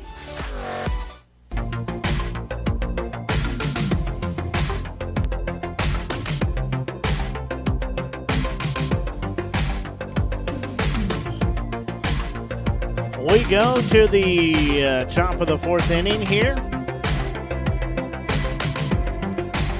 As the Renegades trail by a score of two to nothing, Blake Gasaway here with you, joined by Ben Schmidt from the Doc and Norm Direct broadcast booth. As Renegades, I said, trailing by a score of two to nothing. Despite giving up the two runs, I, am still impressed with what I've seen out of Damo so far in his three innings of work. He's been attacking the zone and has been able to work around some base runners. You have to remember, uh, the Merchants, when they scored the couple runs, had bases loaded in a couple different spots. That inning very easily could have got out of hand. We saw it happen in the first game when the Merchants put up a five spot in the sixth inning. So he has worked around, could be more trouble. Like I said, it's been attacking the zone, and there's no reason for me to believe that he won't continue to do that. And the line really, even though it shows two runs, he's pitched a pretty good ball game through the first three innings. Yeah, I agree with that. He Damel has done well. However, just again the offensive struggle continues for the Renegades as they squandered a three base runner opportunity there. They had the bases loaded with a, walk, a single, and a hit by pitch. Bases loaded and could not find a way to push any runs across the plate. This will be batters 8, 9, and 1 coming to plate. This will be Jacob Rochester, the uh, designated hitter, first pitch he sees is ball one upstairs. And it felt like a couple of days ago when the Renegades really seemed to turn it on. We're in the midst of three straight. They were taking advantage of those opportunities, and then just the last last night and today, they've came up empty on that same type of situation. That one in there called strike one, so evens the count one ball, one strike. So Damo again, long look in here. His team sits at 9 and 11 on the season. That one down central, called strike two. Good thing for the Renegades is even as they've dropped the last two games and currently trail here, they're in a division with a Joplin team that's leading it who also has a similar record. So still plenty to play for and also still very early in the season. That pitch upstairs, so that'll even the count two balls, two strikes. Again, Berg in the on deck circle, then Alt would be the one due up after that. I believe these two back to back base runners were the two that had the infield singles. Correct me if I'm wrong, but the two unfortunate ones in that second inning. That one misses, so that goes full now. Three balls, two strikes. If You're correct on that. You're remembering very well there. So three balls, two strikes. And Damo will get set on the rubber. Payoff pitch swung on and missed for out number one. In a full count spot there, Damo basically said, Here, hit my fastball, see if you can. And once again, not being afraid to attack, came with the heat there and swinging right through it for out number one. So good work getting back to it here in the top of the fourth. Well, this will be Kyle Berg, the right fielder. As you mentioned, he was part of the back-to-back-to-back singles, and he had an RBI single in the middle of those three singles in back-to-back fashion. First offering to him outside ball one. Sure, the Renegades would uh, like to see the strikeout stuff continuing for Damo. He's had a bit of it sporadically throughout the first three and a third innings that he's pitched, but I'm sure they prefer that obviously than the slow ground balls that just found ways to let Merchants reach base. That one catches the outside part of the plate, evens the count one ball, one strike. And Damo has had six strikeouts here in the game so far. He has had three each way. So one ball, one strike. Next pitch, that one gets by Rocker Bomber. It was low, so that takes it two balls, one strike. Getting pretty good contingent of fans have hung around for game two here of a doubleheader. Absolutely, and hopefully, obviously, the outcome could be a, a, bit different. But they've been put to a good pitching performance by Damo so far. He could reach double-digit strikeouts, which I don't know off the top of my head if that's been done by a Renegade starter. 2 1 offering on its way. There's a bouncing ball as Perkins will knock it down but can't get a glove on it at short. That'll be a single. Almost the same type of thing there that happened the first time up. And even if Taylor Hopkins fields that ball cleanly, I really don't know if by the time he pops up has enough arm to get Berg because that was once again pretty deep in the hole. And that's living right if you're Berg back to back times where you put it about as deep in the shortstop hole as you can without going into left field. And he's rewarded now with two hits and two at bats. So now we'll go to the top of the lineup in center fielder and Michael Alt. As Alt will step in again left-handed batter. He is one for one with a walk, has an RBI as well. First offering to him. Downstairs in the dirt, Rocker Bomber keeps it in front of him, so that'll make the count one ball, no strikes. Again, as we play here in the top of the fourth inning, it's a 2 0 score in favor of the uh, Carroll Merchants from Carroll, Iowa. Damel gets the sign from Rocker Bomber.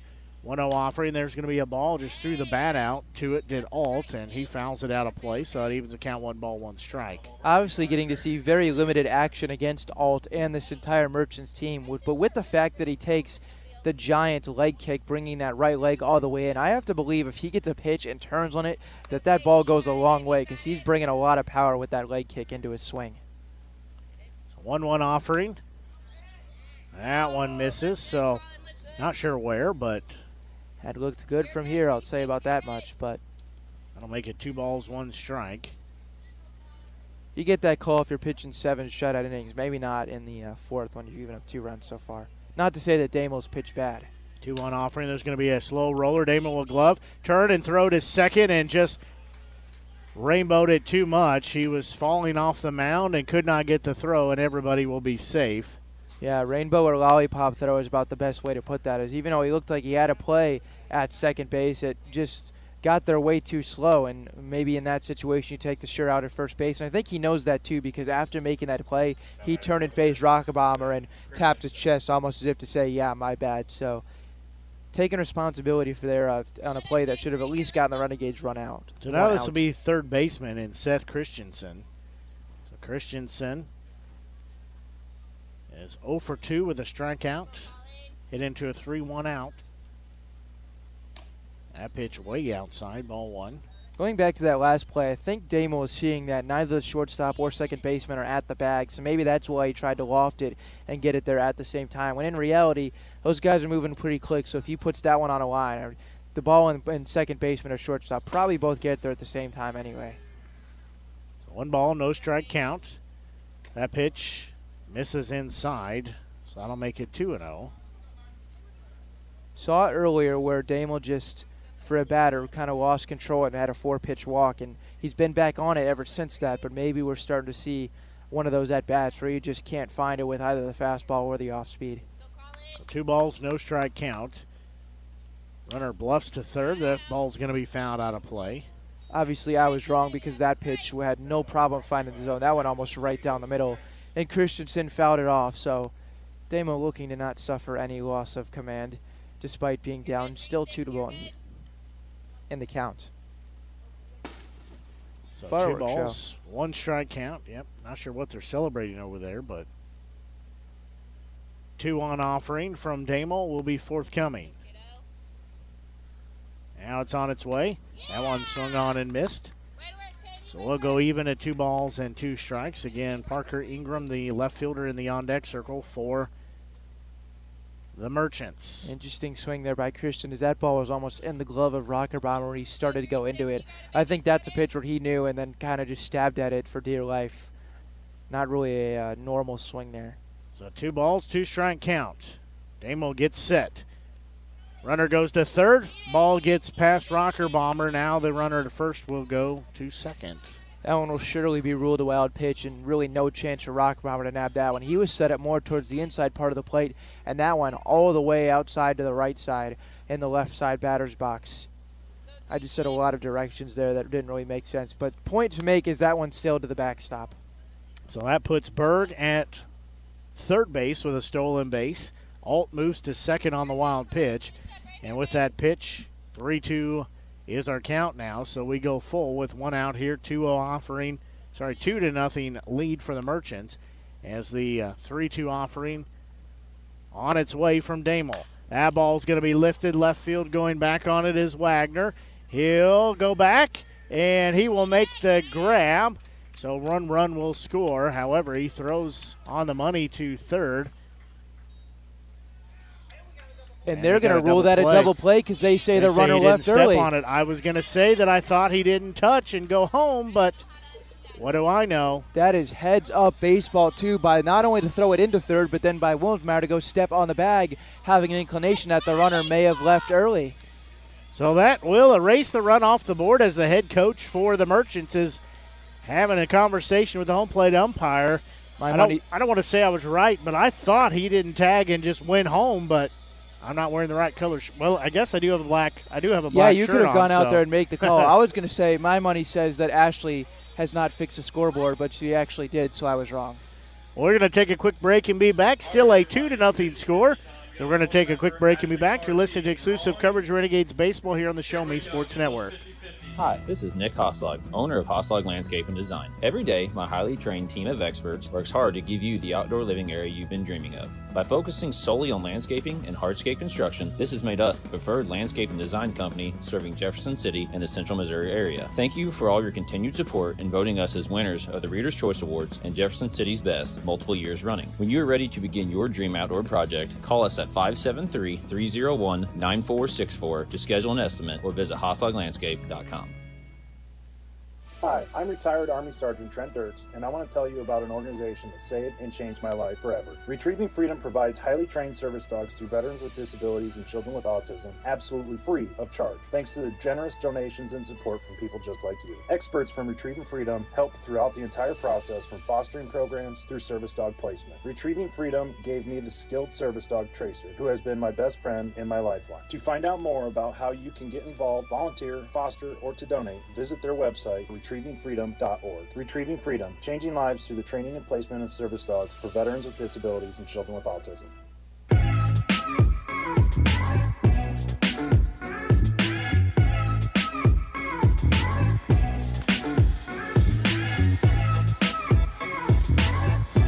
We go to the bottom of the fourth inning. Still a two to nothing score in favor of the Merchants. As this will be batters six, seven, and eight due up. This will be Carter Gorling, then Ross Lovich, then shortstop Taylor Hopkins will be the three due up. No better way to build off the momentum that you just got on the double play than to come back out and put some runs on the scoreboard. Tires here in zeros. So Neal will look in here. His first offering to Gorling. Low and a bit outside, ball one. Merchants had a couple pitchers warming up in the bullpen last inning when the Renegades loaded up, so it'll be interesting to see what the leash is for Neal this inning coming out for the fourth. So Gorling will dig back in, again right-handed batter. 1-0 offering on its way. That one upstairs, but called strike one. That one was just about as far on that top shelf as you could reach on your tiptoes, but somehow it was in there for a strike. Gorling, I uh, don't know how he compares to the rest of the Renegades roster, but looks to be one of the taller players, so maybe that threw the umpire off. 1 1 offering. That one down central called strike two. So that one looked to be kind of at the knee. So Gorling is getting the wide strike zone here, at least vertically. Gets one up near the midsection and then another down at the knees. And I'm sure he's got to be thinking right now, what am I, what am I supposed to wait wait for? So one ball, two strike count. Again, nobody out here.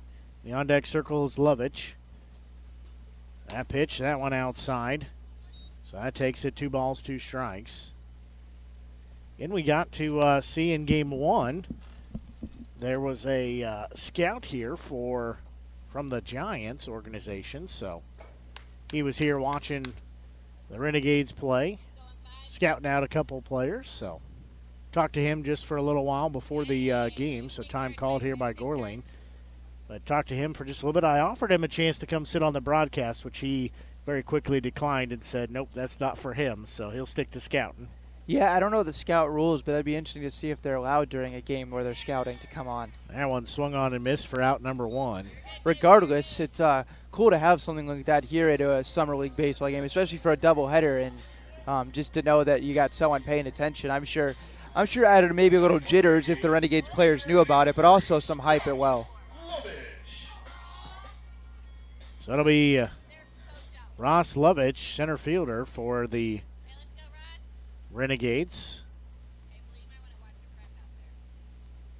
So first offering to Lovich from Neal on its way. He's going to swing and miss. Swinging at uh, pitch in the dirt. So that takes it no balls and one strike. Again, one out here. Hopkins will be in the on deck circle, then Imgarten. We do up after that. 0 1 offering from Neal on its way. That one's going to be fouled back. I'm sure the sense of urgency is continuing to grow for the Renegades, not only just because they've had trouble scoring, but just knowing the fact that they've got 11 more outs. This game's going seven and not nine. So I know two innings doesn't sound like a big difference, but when you're sitting here in the bottom of the fourth, trailing, and you haven't scored yet, that seventh looks like it's coming coming up on you pretty fast. So Neal will look back in again. One out here. His team leads by a score of two to nothing. 0-2 offering on its way to Lovich. That one downstairs inside. That'll make it one ball, two strikes. Kind of the same thing that happened in the uh, first at bat for Ross. Just fell behind, but then continued to battle, take a couple pitches, foul some pitches off, and then got rewarded with a trip to first base on a hit by pitch. It's not the home run or the double scored down the line, but it raises your on base percentage and it helps the team out. So 1 2 offering on its way to Lovich. That one's going to be a well hit ball, blistered into right field. However, the right fielder on it for out number two. Yeah, that's tough luck right there as he hit the ball well, but pretty much right at right fielder coming in. I believe that's Berg out there, although I'm not positive, but almost one where he didn't even have to move left to right, just come in a couple steps. And when it's going bad, stuff like that happens, but when it's going in, that ball somehow finds a way to get down and goes for extra bases. So that'll come around. If, if Lovich continues to put balls in play like that, those will start to go his way. So this will be a shortstop in Taylor Hopkins. He's 0 for 1 with a strikeout in his only at bat so far. So he'll dig in on the right hand side of the plate. Two outs here. He'll send a ball straight up the middle. Two out single will put him on first base. Good for Hopkins there. Made good contact. And based on the sound of the bat, I don't know, as it doesn't look cracked, but uh, may have to inspect that one and maybe give our friends at Walk Off Wood Bat Company a call. Absolutely. So, I want to tell you about Walk Off Wood Bat Company, handcrafted right here in Missouri. Walk Off Wood Bat Company bats are made with premium grade maple, ash, and birch, fully customizable to make it truly yours. From the length and weight to the barrel and handle color, you're able to customize every feature of your wood bat, including personalized engraving with a 45 day warranty. Yeah, I had a, a, chance to talk to Kevin, one of the uh, owners there that makes the bats. He said they had a, a youngster, I believe it was a 12U game, that had the bat one day and broke it in his uh, at bat. So he had another one. They jumped in. There's going to be a ball lifted into center field. It's going to get down.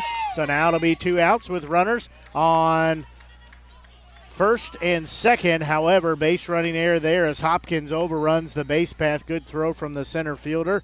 And that eliminates the inning as base running errors. You talked about it. When it rains, it pours. That's the case right there. As bad base running, little mistake there, but cost them an out and ends the inning. As uh, we'll take a quick break when we come back, I'll let you uh, tell them more about Walk Off Wood Bat Company. So we'll take a quick break and be back listening to exclusive coverage Renegades baseball here on the Show Me Sports Network. Creating custom, handcrafted woodworking projects has never been easier. Become a member of Sawdust Studios and enjoy 24 7 access to a woodworker's paradise. Outfit with industry leading professional grade tools, Sawdust Studios offers endless woodworking possibilities. Don't have woodworking experience? No problem, as Sawdust Studios offers affordable classes from a community of woodworkers, experienced designers, and master craftsmen. Youth classes are also offered for those junior woodworkers. For more information, search Sawdust Studios on Facebook or find them online at Sawdust sawdust247.com. Sawdust Studios, your community woodshop. Hello, Blake Gasaway here with the Show Me Sports Network. I've had the opportunity to have some amazing calls, including overtime touchdowns, walk-off home runs, and buzzer-beating baskets. But I've answered another call. That's to serve my community as a volunteer firefighter. Stop and think what would happen if your home or property caught fire and no one was there to put it out. Every day, volunteer firefighters not only save lives and property, but also respond to other emergencies. Nearly two-thirds of our nation's fire departments are manned by volunteer firefighters. And because of this, we simply need more volunteers to step up and answer the call. Stop by or contact your local fire department and see how you can become a volunteer firefighter today. I answered the call to serve my community. Will you?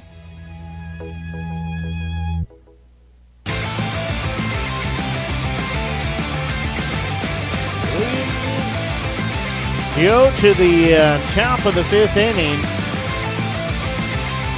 As we were talking about walk-off wood bats, to find your confidence at the plate, call them at 816-261-1014 or visit wowbats.com. As first pitch, that's going to be fouled out of play. This will be Ingram, Freeman, and Mathewson due up. So Ingram will be down in the count at 0-1. As I was saying, I was talking with Kevin, one of the owners of Walk Off Wood Bat. He was actually delivering the bats that uh, we've got. We posted on our social media the red, white, and blue bats for the Show Me Sports Network that they made that turned out just spectacular. A one offering, that one downstairs, evens the count at one ball, one strike. So I was talking with him as he was dropping them off, and uh, you know he was telling me about that. I said we we've seen a lot of broken bats, but several of them we've seen have not been the uh, the Walk Off Wood Bat Company bats. They've been other brands of bats, and that's what he was telling me. That pitch misses ball too. That there was a uh, youngster, a 12U youngster, that was playing in a tournament that uh, might have been the week or two before that. They brought some bats down, had a custom one made for him, and uh, he broke it that game. He had it about one day and broke it in the game, so they jumped in and made him a new bat. He was he was good to go. As that one is going to drill Ingram in the back, so he will be awarded first base with hit by pitch. So now this will be Garrick Freeman, the first baseman, stepping in. Yeah, Ingram not too happy about that one there, but obviously not intentional. You're not doing that down two nothing and nobody out and nobody on. But uh, regardless, he's going to take an extra few steps down the first base line and try and re- recollect himself. I'm sure that didn't feel good as it was clearly a fastball. But going back to the play that ended last inning too, because not only was uh, originally that play is not that that dumb of a play because Hopkins was a rounding second faking like he was going to go to third. And normally you think the center fielder sees that and throws to third base, and then you hopefully you get you get lucky and get a bad throw, something like that, allow the runners to advance. But head center fielder was thinking two steps ahead and threw back to second base when nine times out of ten that throw goes to third. So even though it's a base running gap for the Renegades, I get the thought process of Hopkins just ran into someone who was thinking a couple steps ahead. So Damo looks in. First pitch to Freeman. Swung on and missed, strike one, so that will put him down in the count at 0 and 1. As Damo again working in his fifth inning of action here. His team trails by a score of 2 to nothing. So he'll look in. Freeman at bat here, 0 1 offering. That one upstairs. Rocker Bomber throws back. The tag is there. They say he's under it. That was a snap throw there by Rocker Bomber. Damo. Good decision. Damo also with the, I believe the six strikeouts. I, I, think that's still the number. As Ashley mentioned, if we were in St. Joe, would have gotten everyone here some free pizza ranch. That's the promotion that St. Joe does, and pretty interesting there. But Damo, one of the better strikeout numbers for a Renegade starter that I think we've seen. That one in there for called strike two. I think St. Joe's probably the closest pizza ranch there is here. Yeah, I, I was where there is. I was gonna say I, I know it from making trips to Minnesota, but there's none back home in Illinois, and certainly none around here. So. One ball, two strike count. I bet you guys will eat there on the road trip going to uh, Car- going to uh, Clarinda. There's going to be a throw down to second. Stolen baseball gets into center field, and runner does not decide to go to third base. Probably a smart decision as coming in quickly was, I believe that's Lovich out there in center field. Yep, it is. And even though that ball skipped on in there, it was kind of an awkward play as when Rocket Bomber threw the ball down, neither the second baseman or the shortstop were at the bag yet. And I guess it's be kind of a problem you experience when when your new second baseman is just joining the team. But I don't think either of them really took second base there, knew who was supposed to be on that play. And because of it, this ball went into center field. Well, you have a two-day road trip, or I guess I should say, Ben, you have a two-day road trip with the team coming up, going to uh, Carroll. So we'll play Carroll tomorrow and the following day. Last time I checked, too, some rain in the forecast for Friday. So absolutely, I wouldn't expect anything away. different going to Iowa.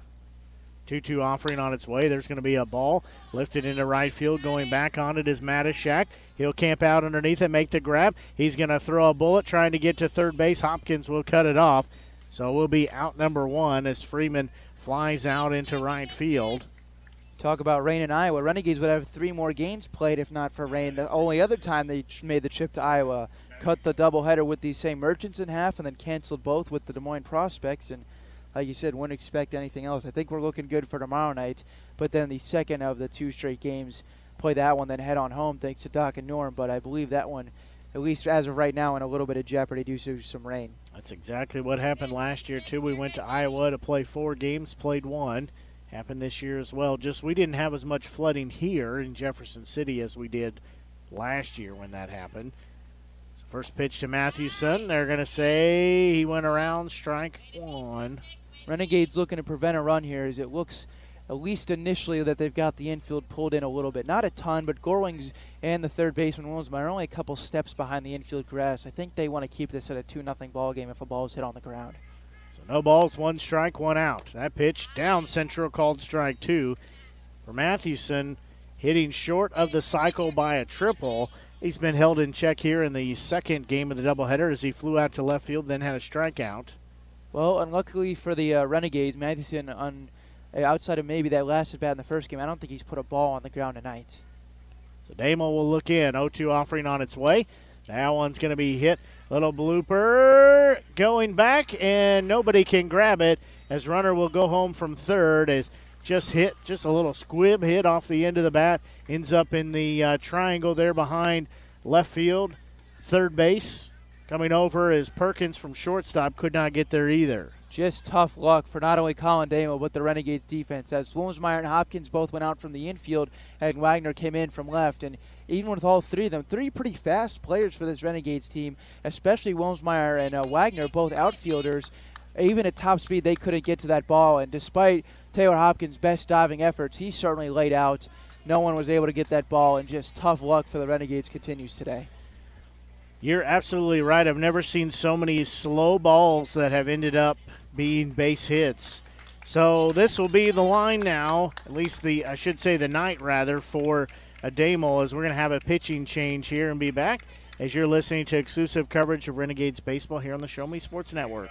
Throughout the course of any game, different actions stand out to different people. But everyone remembers a walk-off, especially if it's a walk-off wood bat. Handcrafted right here in Missouri, walk-off wood bat company bats are made with premium grade maple, ash, and birch, fully customizable to make it truly yours. From the length and weight to the barrel and handle color, you're able to customize every feature of your wood bat, including personalized engraving with a 45-day warranty. In addition to selling custom handcrafted bats, they also offer a selection of bat accessories, including lizard skin bat grips and batting gloves. To help find your confidence at the plate, give Walk-Off Wood Bat Company a call at 816-261-1014 or visit wowbats.com.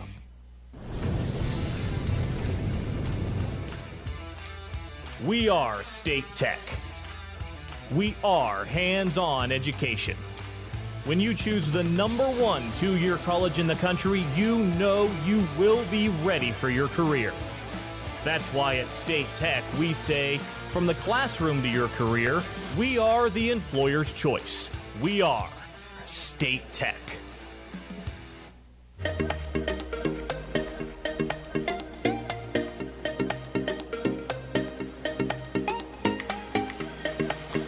Well, our new pitcher in the ball game for the Renegades is six foot, 150 pound freshman Tanner Schmitz.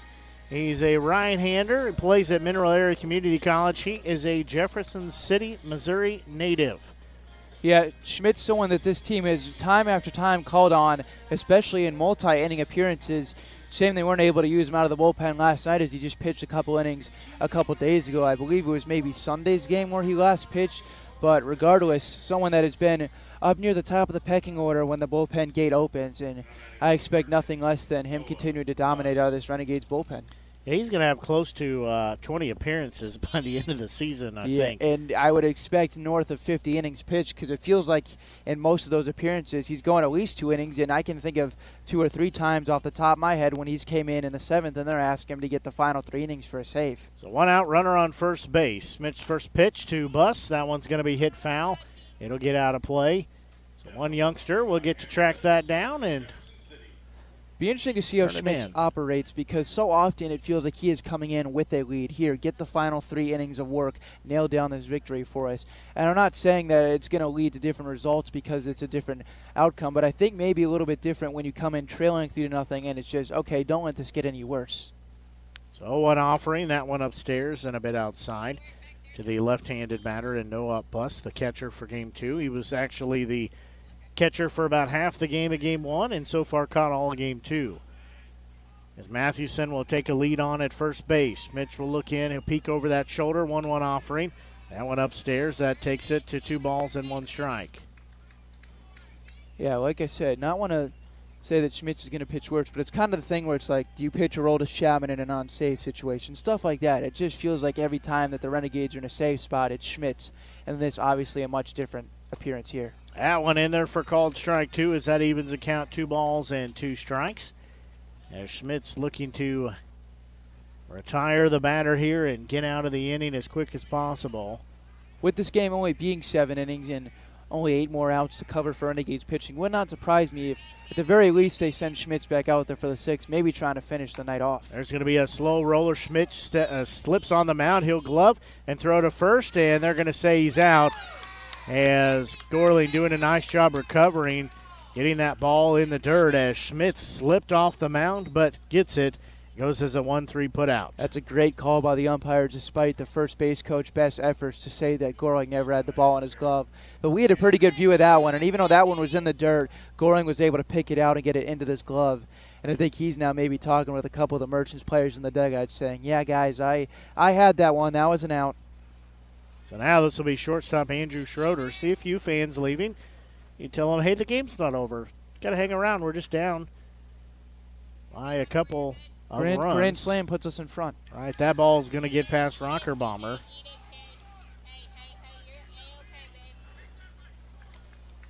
Very important here for Schmitz to not let Mathewson come home from third base. Obviously, one, you can't throw a wild pitch because if there we throw another one like that that just happened, Mathewson can jog on home. But tell you what, the uh, team that's already struggling to score some runs, I'm sure three already looks even bigger than normal to them. And then four, you just starting to ask for too much to come back from, especially when you've only got three more trips to the plate coming up. So very important that he gets the, the batter right here. So Mathewson will be on third base. Buss, sorry, this is uh, Schroeder rather. Buss was retired in between these two batters. Now one upstairs. This is ball two. I'll tell you what, for the decent part part of this afternoon, I didn't realize that he, the the Merchants jerseys had names on the back, and maybe it was just the camo that threw me off. That one, a little chin music as it ends up underneath the home plate umpire. Renegades get some fortunate luck there. As not only one, it kicked off the backstop, it came straight back, and then stopped right under the home plate umpire, and no shot for Matthew to try and come home. Renegades catch a break there. Schroeder had to duck out of the way of that pitch. Chin music was a good way to put that because that ball was up and in, and he ended up on his back. So three balls and no strikes. Again, two outs here. Schmitz's trying to get out of the jam here with a runner on third base. He'll look in, he'll get the sign, take a deep breath. He'll come set at the waist. There's a 3 0 pitch. That one fouled out. That'll make it 3 and 1. Well, if you're going to swing through, you might as well take a hack like that, as even though he was out in front, there was a pretty big uppercut in that swing, and he was trying to elevate there and go for the fences or do it again 3 1. Talked about liking these uh, jerseys for the Merchants. I like their helmets too. It's just a flat blue with the CM on the front of it in white. They look very stylish. 3 1 offering. There's a bouncing ball. Hopkins will glove at short. He'll throw to first. Gorling has it for out number three. And the blue helmet that you just mentioned has been spiked halfway down the first base line in retaliation of the out call. Gotta treat that helmet with respect there.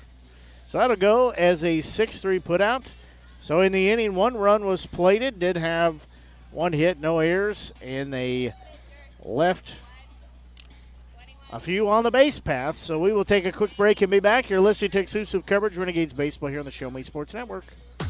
Riverville Christian Academy has been providing a strong biblical foundation and academic excellence within a Christian environment to students for more than 16 years. Located in Jefferson City, Riverville Christian Academy offers kinder prep through 7th grade with 8th grade to be added in the 2023-2024 school year. Riverville Christian Academy's primary goal is the discipleship of the next generation to impact the world for Christ. Average class sizes are just 16 students with a student body composed of families from over 30 area churches. Kinder prep offerings include 3 and 5 full-day sessions with kindergarten offering a half-day and full-day programs. To find out more about Riverville Christian Academy, call them at 573-634-3983.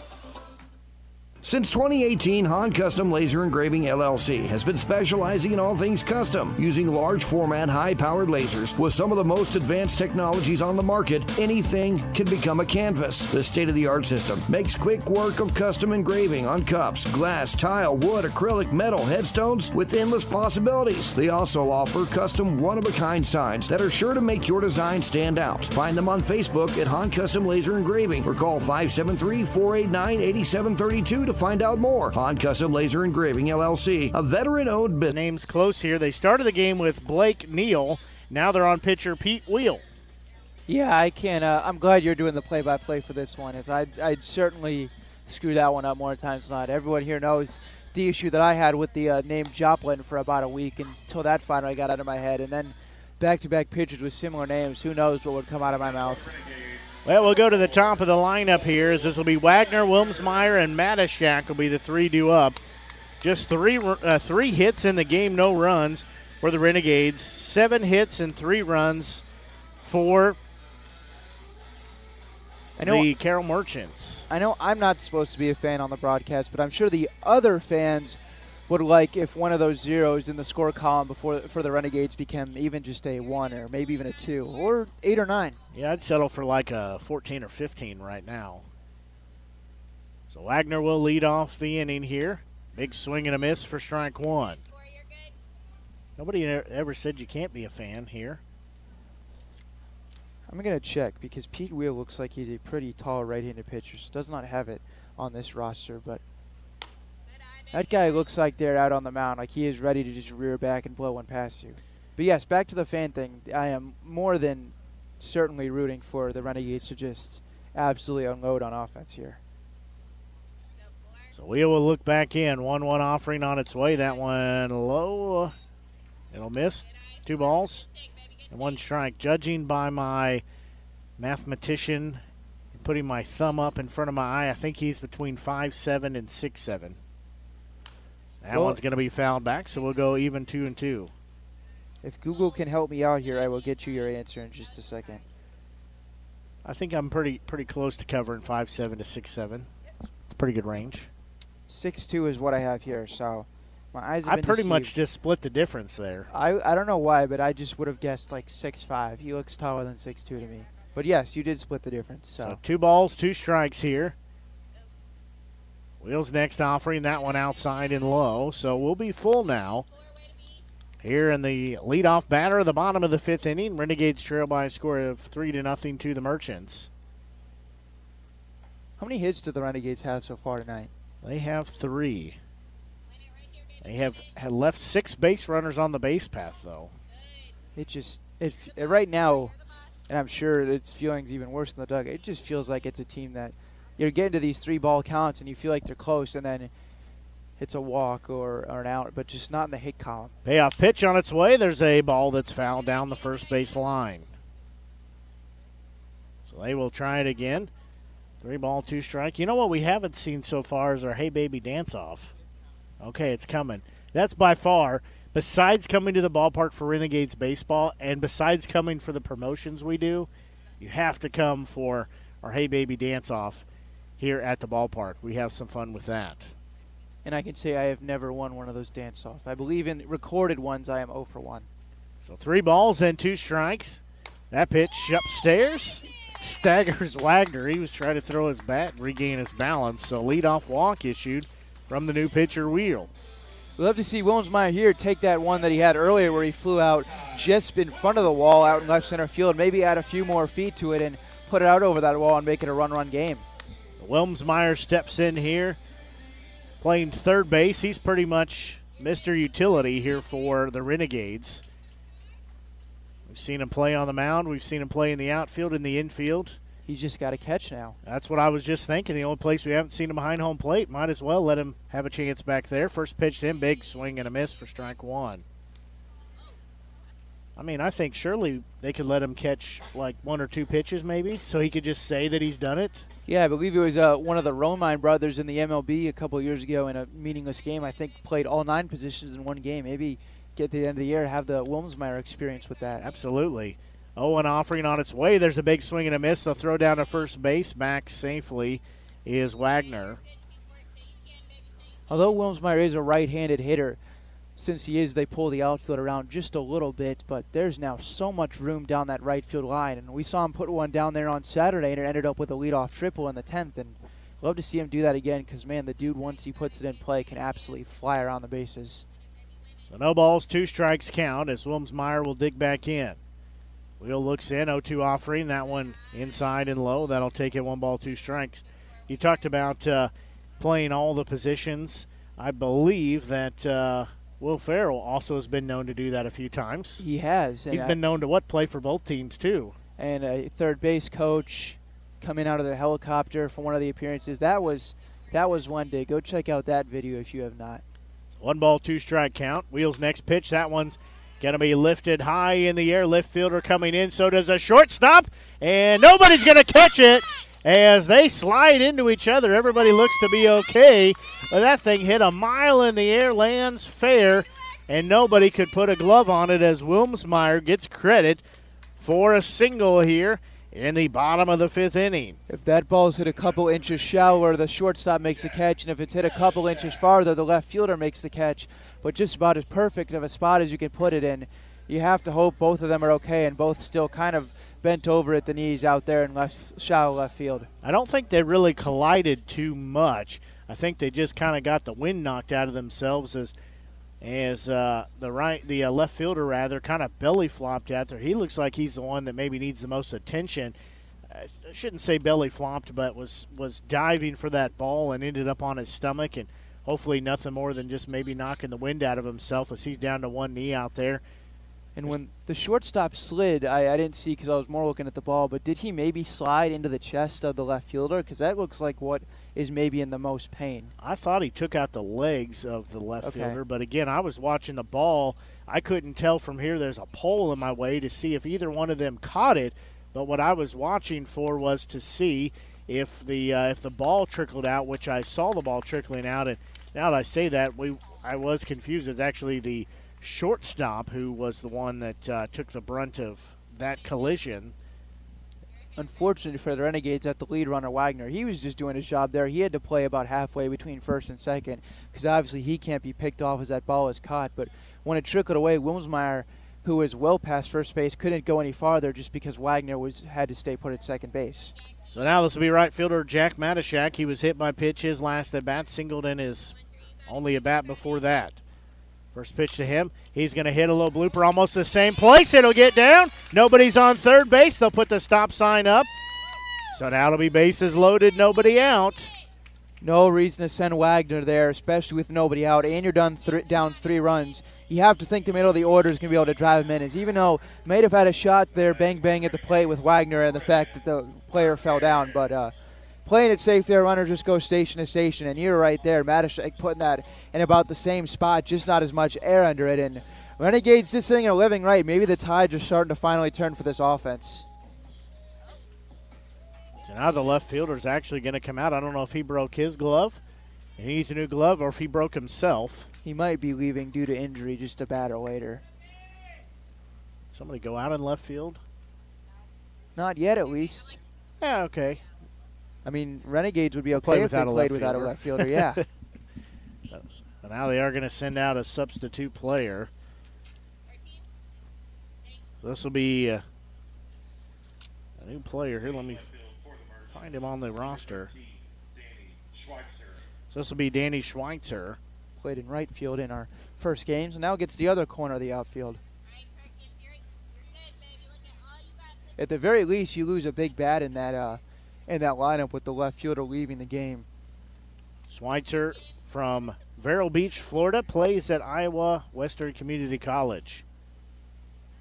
So now it'll be bases loaded, nobody out here. This will be uh, Brennan Perkins stepping in, the designated hitter. First pitch from Wheel in their strike one. Yeah, by far the biggest opportunity for the Renegades, and I'll tell you, they have to take advantage right here. Already trailing by three runs, and if they go through the end of this fifth without tacking on at least one or a couple, it's it's going to be real tough to climb out of it after this. They've got to strike now. Wheel checks the runner at third. 0-1 offering on its way. That one inside bounces across home plate. Perkins says, "Don't come home, boys. It's not a safe place right now." I believe I made a comment about a grand slam with the top of the last inning when I wanted the runner to stay at third base. So That would be if if they hit a grand slam, everybody in the ballpark's going to get a bingo for Win It Wednesdays because I think every card has has a grand slam on it. and in a blackout bingo, yeah, you're right. That's that's probably the reason I why we didn't have any yet. I was we, we haven't had our winner yet because we haven't hit a grand slam. So Perkins represents the go-ahead run. He was swinging for the fences there. Comes up short. It'll make it one ball, two strikes. Perkins had the two infield singles earlier this afternoon, had two of the five Renegades hits. And here, I don't think you'd want one in the infield, as it mean at least one, maybe two outs, but One you just ball. need a ball in play. One ball, two strike count. Nobody out here. Wheel looks in. One two offering. There's a swing and a miss for out number one. Now this will be catcher TJ Rockerbomber. He's 0 for 2, has a strikeout in his last two at bats, his only two at bats. So what a good time to get off the 0-2 Schneid right now to put it in play somewhere. And I'm sure Rocker Bomber's happy to see Neal leave the ball game. Had to face the lefty on lefty, and although he fouled off some pitches, looked to be in a pretty tough spot there. So I'm sure facing now a right-hander and Wheel, he's feeling he's feeling a lot better. Not to mention has a lot of room down that right field line. One out here, bases loaded. Wheel looks in, first delivery. They're going to say Rocker Bomber went around strike one. Tried to take it back, but could not. As our uh, game day staff here, not doing a very good job getting our fans rallied up here. The fact that we have bases loaded, one out here. We trail by three runs. Rocker Bomber represents the go ahead run. Love to see Rocker Bomber put one a gap here and really see Matashek get on his horse. Oh, one offering, that one upstairs, so that'll take it to one ball, one strike. Although the Renegades did have a little luck go their way to load the bases thanks to a couple blue hits and a walk, it would be a real shame for them to get through this inning without taking advantage of the opportunity. At the very least, you need to push across one here. So one ball, one strike count. Wheel will look in. He'll get the sign. Now he'll get set. 1 1 offering. That one downstairs and low. That takes us to two balls and one strike. Again, runners on the base path. Everywhere that can be occupied is occupied. Wagner on third, Wilmsmeyer on second, Matashak at first. Perkins was up, struck out, so now we're on to Rocker Bomber as the first three batters reach safely for the Renegades to start off this bottom of the fifth. They're trying to carve into this 3 0 deficit they face right now. That pitch upstairs, that makes it a 3 1 count. Rocker Bomber looks really good in this at bat. Had the check swing on a pitch that may or may not have been a strike, we won't know. But in the three pitches since, they haven't been incredibly far outside, but Rocker Bomber has shown no inclination to chase at any of them, and now is rewarded with a 3 1 count. And just one more take is going to lead into a forcing run. But even if he doesn't, he'll get a pitch to hit and hopefully hammer it. So three balls and one strike, again, one out here. As now we'll have a stalemate as Wheel steps off the mound. Again, Ashley Carty, our secretary, board member, scoreboard operator, entertainment uh, entertainment wrangler, trying to get the crowd rallied up here. 3 1 offering. That one's going to be a ball lifted into shallow center field. Center fielder coming in on it. He'll make the grab. Wagner's going to tie up. He's going to come home. He's going to be in there for the run, and it's going to be safe as Wilmsmeyer will go to third base. So Wagner breaks the goose egg, and now Wheels try to challenge and say he left too early, because that's what was the call for the Merchants. And the home plate umpire says, no, he did not. He is safe. I'll tell you what, I don't know the speed of everyone on this roster, but Wagner – who's pretty fast. Didn't beat that throw by a whole lot as it was a good one in from center field by Alt out there on the fly to his catcher Buss. And I can tell you for a fact, not everyone on the Renegades beats that throw out. And thankfully, Wagner, one of them who can, was at third base and finally gets the Renegades on the board after what feels like an eternity. now the Renegades trail by two at a score of three to run. Three to one. They'll have runners on the corners. This is Carter Gorling stepping in now. He's 0 for 2. First pitch him. He's going to send that one a mile in the air. It is going to go foul. It must be getting out of play because I see people scrambling as it hits on the bleachers and goes over the back of the bleachers. Couldn't see it. Didn't know if it was going to be out of play, but judging by the reaction of everybody over there to our left getting out of the way, pretty good indication that it's going foul and out of play. So we'll be 0 1 now for Gorling as Ross Lovich is in the on deck circle. He's been hit by a pitch and flew out to right field in his last at bat. So Gorling will dig back in. Again, runners on first and third.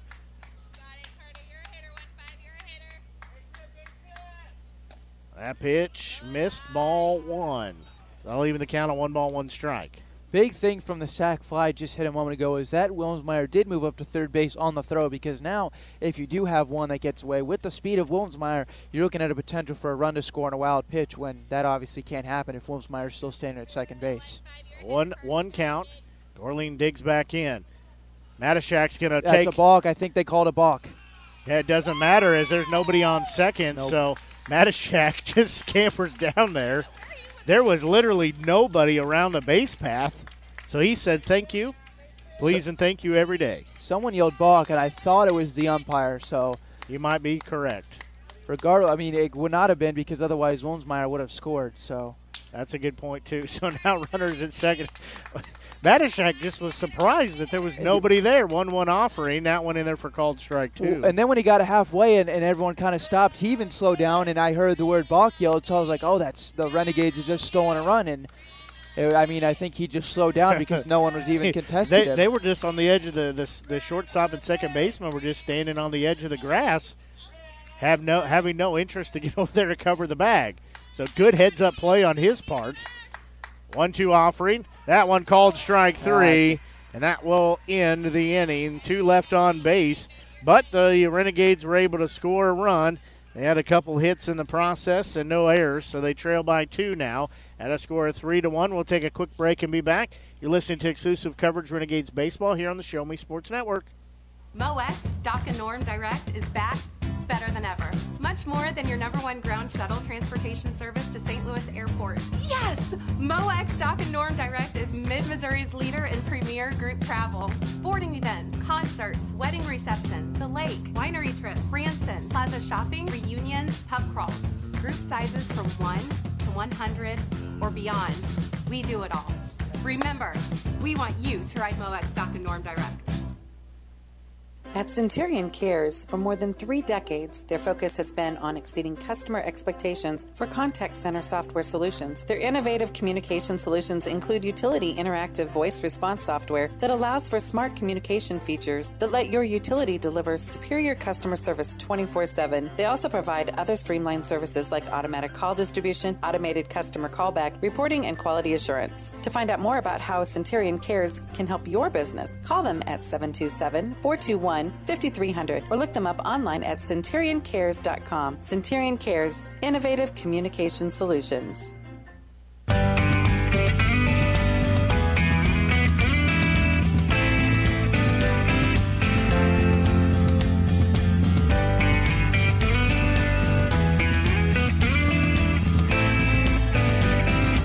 We go to the top of the sixth inning now as we just did our military salute here at the ballpark. I want to thank all of our military veterans, our current active military members, and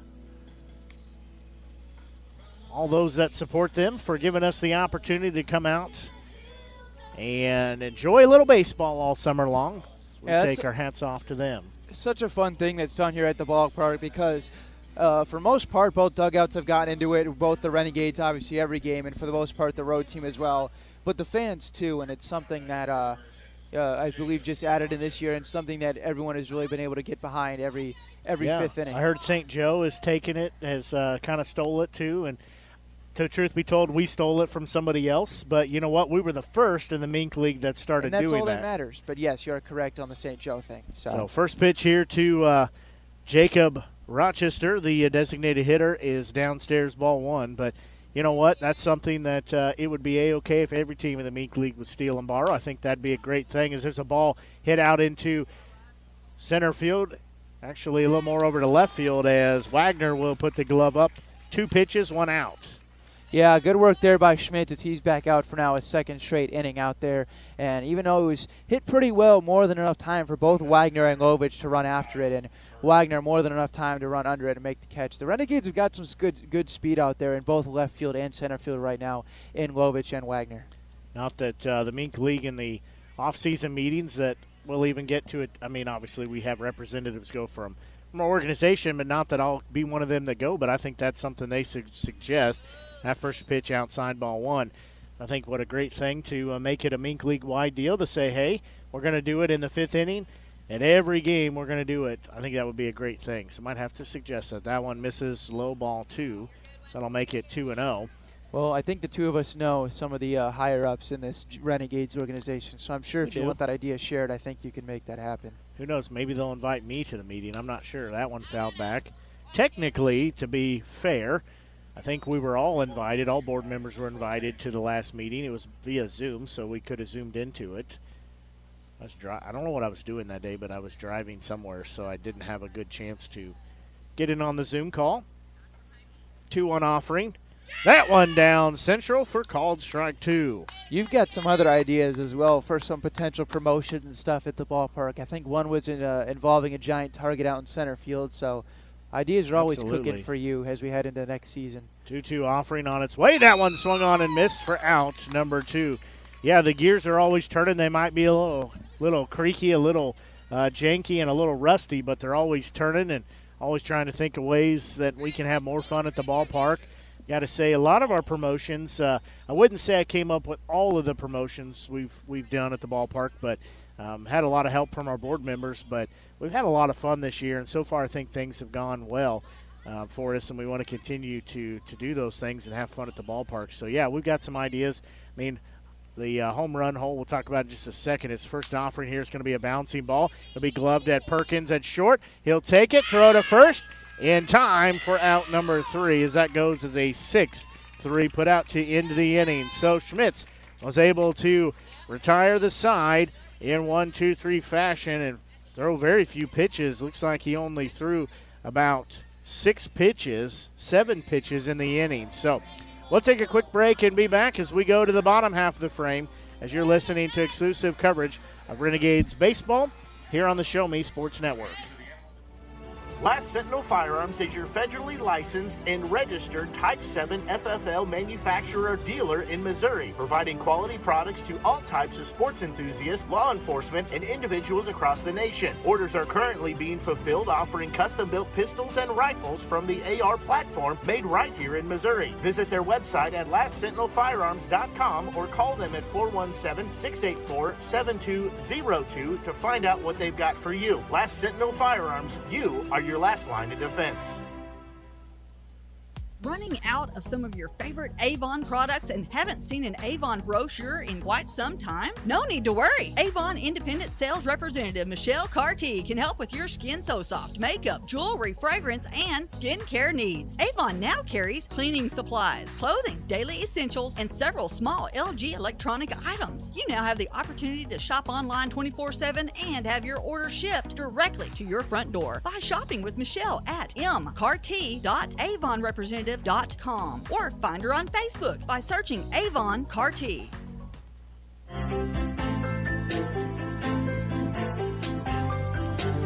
We go to the uh, bottom of the sixth inning.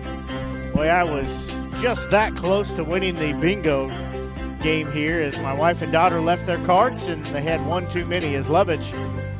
We'll see the first pitch to him inside ball one. So one ball and no strike count. Again, 3 1 score right now in favor of the Merchants. That one swung on and missed, so I'll leave the count at one ball and one strike. And one of the fans here, boy, that's, you know, we've had extremes here on our bingo nights. The very first Win It Wednesday we did with baseball bingo, we won after a half inning. Somebody won. And here we are, going to have to do some quick math in my head, but seven, six, 13 innings yeah, later. this one took 13 innings to have a winner, so maybe we need to pick somewhere in between. So evidently we found a car that did not have Grand Slam on it. But there was some discussion whether or not a balk had happened. And despite it, I always had one last inning. There's not. a bouncing ball taken at second. Glove over to first. In time for out number one as that goes as a 4 3 putout. Well, this will be shortstop Taylor Hopkins stepping in. He had a single his last time up.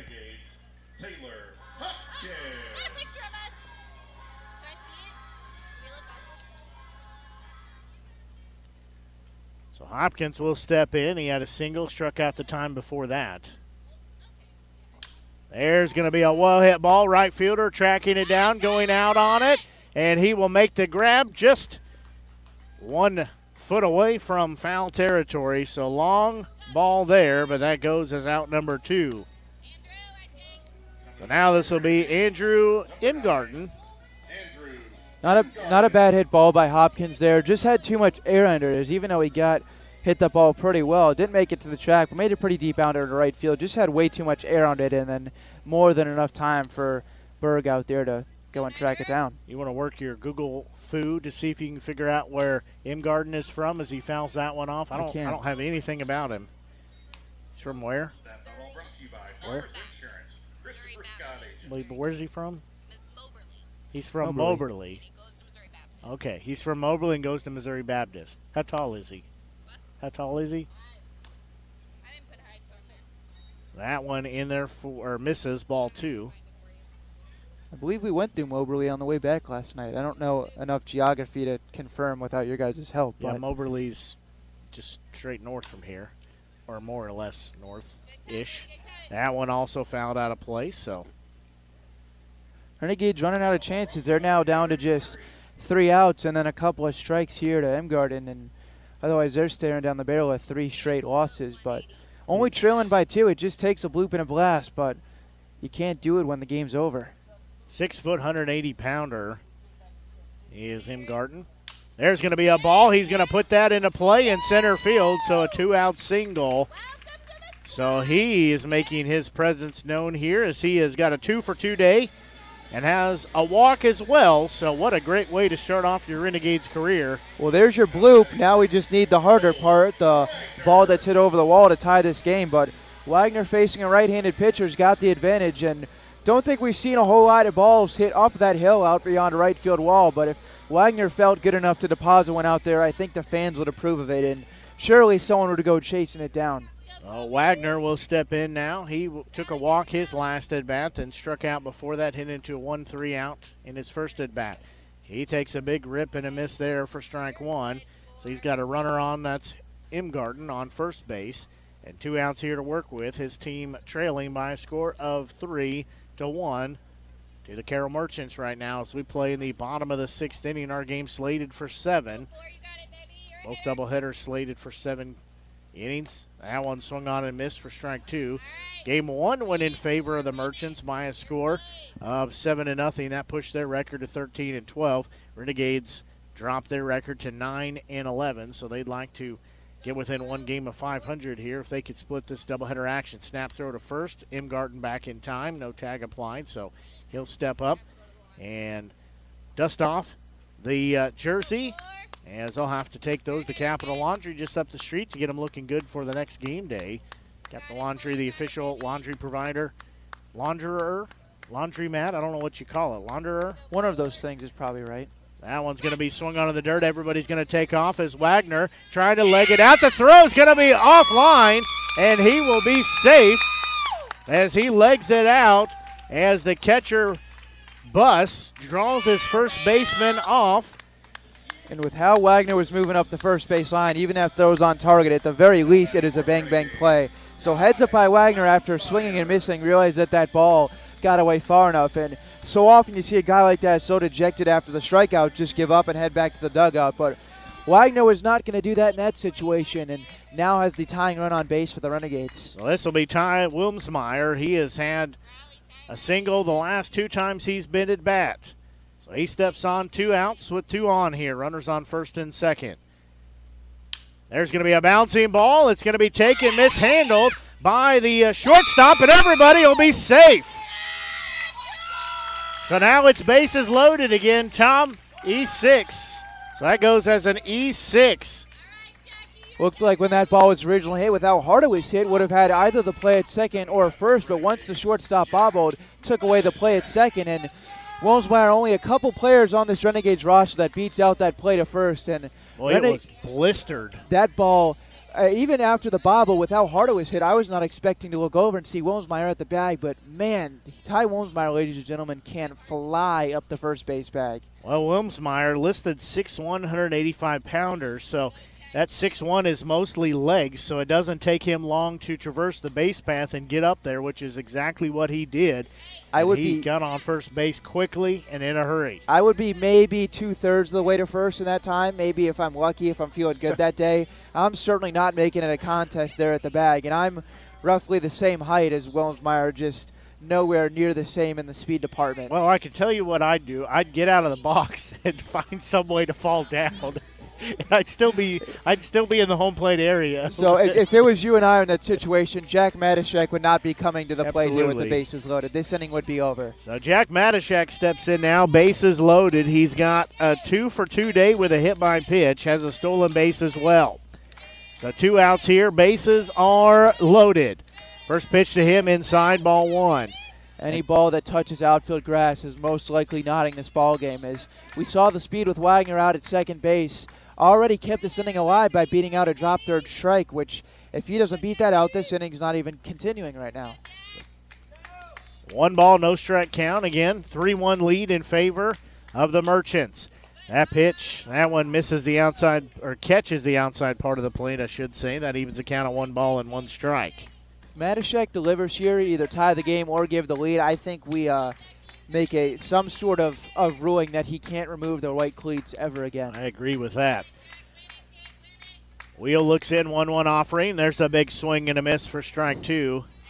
He talked about when he came on the post-game show on, I believe it was Sunday, how about sometimes that that right field fence out there is looking pretty mighty, and he was taking a swing that said that. He wanted to drive in four right there, and there's no doubt about it with that swing. So one ball, two strike count again, two outs, bases loaded. Matashek digs back in on the left-hand side of the plate. Wheels delivery. That one's going to be hit into left field. Is it going to get down? It will not, as it is caught by the left fielder, and that will be out number three as it took a ride but just couldn't evade the left fielder as Matashak just comes up short as he almost put it in a place that would have tied the ball game up. So we'll take a quick break and be back as you're listening to exclusive coverage Renegades baseball here on the Show Me Sports Network. Serving the capital city and the surrounding area for 70 years, Animal Medical Center strives to provide the best possible medical service for your pet in a caring atmosphere. To promote quality healing and preventative care in a fear free environment, Animal Medical Center of Jefferson City is a full service veterinary hospital. Whether your pet has fur, feathers, or scales, Dr. Greg Boyer and Dr. Kayla Terry have the experience and expertise to treat complex medical conditions as well as providing annual well checks and vaccinations. Animal Medical Center of Jefferson City is the only veterinary hospital in the capital city accredited by the American Animal Hospital Association. To schedule an appointment, call the team at Animal Medical Center of Jefferson City at 573 636 4626. At the Boone County Journal, we're with you all the way. We know that you're more than just a subscriber. You're an employer, you're a parent, you're a neighbor. Most importantly, you're a community member. It's our goal to provide you with the latest news, sports, opinions, obituaries, classifieds, and more to keep you informed about your community. To find out more about the Boone County Journal or to subscribe, call 573 657 2334 or visit bocojoe.com. The Boone County Journal. We're with you all the way.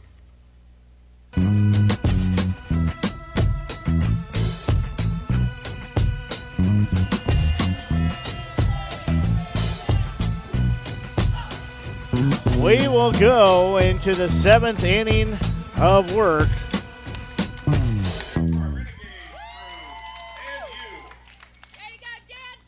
Sorry, I got uh, sidetracked. There, what is our dance team called? No. Well, considering the dance team is made up, I think, of more men than Yeah. women. I don't know. The Renegades? The Renegades, the Renegals, and the Renegade Dancers. So that first pitch misses as this will be batters two, three, and four. four. This is Seth Christensen. Schmitz is back out there once again, proving his ability to go across multi innings and pitch good baseball. That one's going to be fouled out, so we'll even at one ball, one strike. Crucial that the Renegades keep this just a two run deficit for a team that's only scored one run through their first six innings, although they showed some signs of life in the past two trips to the plate. But now they're going to have to try and score at least two, and the top of the order just hit, so it's going to be up to the middle of it. Schmitz next delivery. That one misses ball two. Uh, two balls and one strike count. Yeah, next pitch on its way. There's going to be a bouncing ball. Hopkins will glove at short. He'll throw to first in time for out number one. Emmett Gorling just playing a little 6-3 catch out there. Going back to that flyout off the bat of Matishek that ended last inning, not only would it have tied the game because easily would have scored Wagner from second base, but when that ball was caught out there, Ty Wilmsmeyer was already a little over halfway to third base, and maybe if you get a generous bounce and it lands, I mean, we're looking at potentially with the speed, maybe the Renegades even take the lead. I'm not sure if they send him there, but Ty was certainly flying, and for how that ball was hit, he made his way from first halfway to third by the time that ball was caught. There's going to be a bouncing ball that'll be taken at second. Glove over to first. One pitch, one out. As that goes as a 4 3 put out. Now this will be first baseman Garrick Freeman. He is 0 for 2 with a walk. Despite being an out away from pitching what I believe would be two in the third innings, it feels like Schmitz is barely putting wear and tear on the arm because he's getting quick outs pretty much everyone he faces. Absolutely right on that. So two outs here. First offering to Freeman. That one outside. Ball one.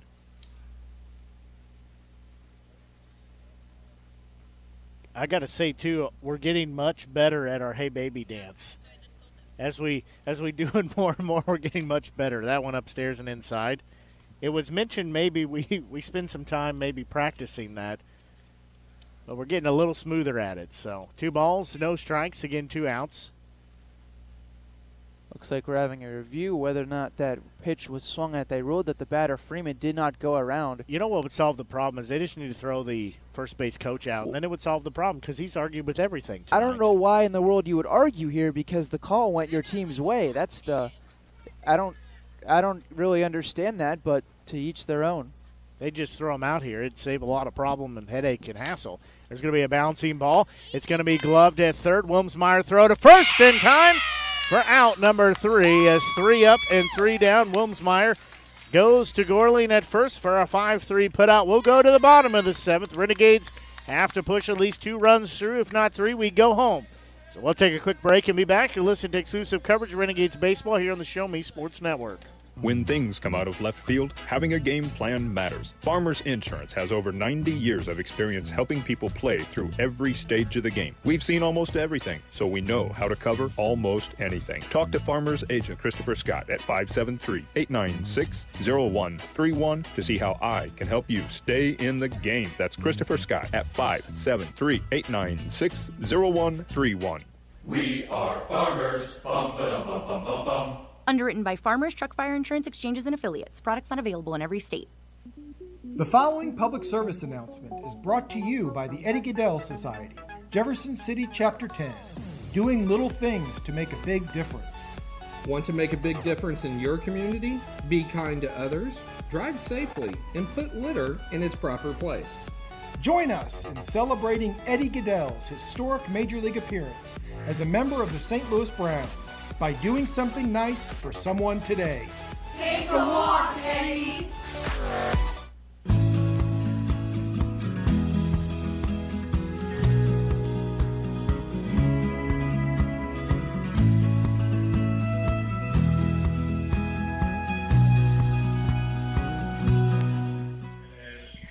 So we go to the bottom of the seventh inning now.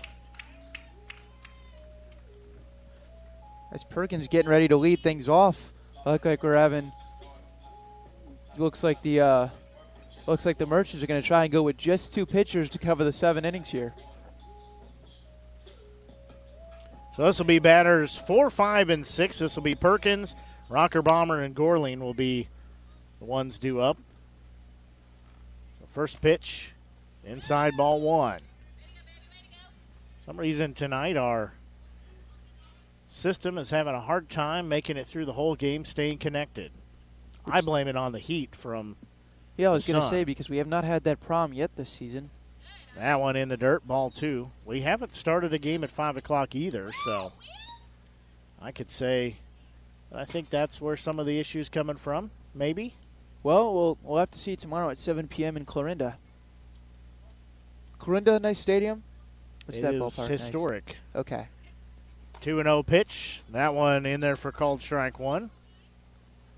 Uh, so to sum it up, out in left and right field is Corn. There's a John Deere implement dealership behind first base. Wouldn't expect anything less out of Iowa. That one fouled off, even two and two now. Behind uh, behind you, so obviously you sit behind home plate. Behind you is uh, is the fairgrounds and a stockyard, and then I don't remember what's kind of over behind uh, third base side. I think it's more to the stockyard fairgrounds area. Okay. 2 2 offering on its way. There's going to be a slow roller. Third baseman's going to knock it into his face, and it'll get into uh, left field. So it'll be a leadoff single for Perkins. Just what the doctor ordered. And Perkins living right. That's his third hit of the day in the two games combined. That the ball did not leave the infield, and that ball, if not for the diving stop, would have made its way into left. But Christensen knocked it down, but then had no play at first base. But Doesn't matter how you get him on. All that matters is that the Renegades have the tying run coming to the plate.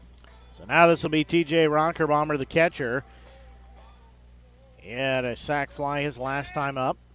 Struck out a couple times as well. So runner on first base, nobody out here as he steps in. In Renegades trail a score three to one. First pitch to him, outside ball one. Talk about the uh, doubleheader rule. How much different would this game feel if it's just a three-run game in the bottom of the seventh? Ex- except right here now, it's the feeling like you're on the bottom of the ninth. Absolutely right about that. So one ball, no strike count. Wheel looks over at the runner at first base. That's Perkins. Now he's set 1 0 offering.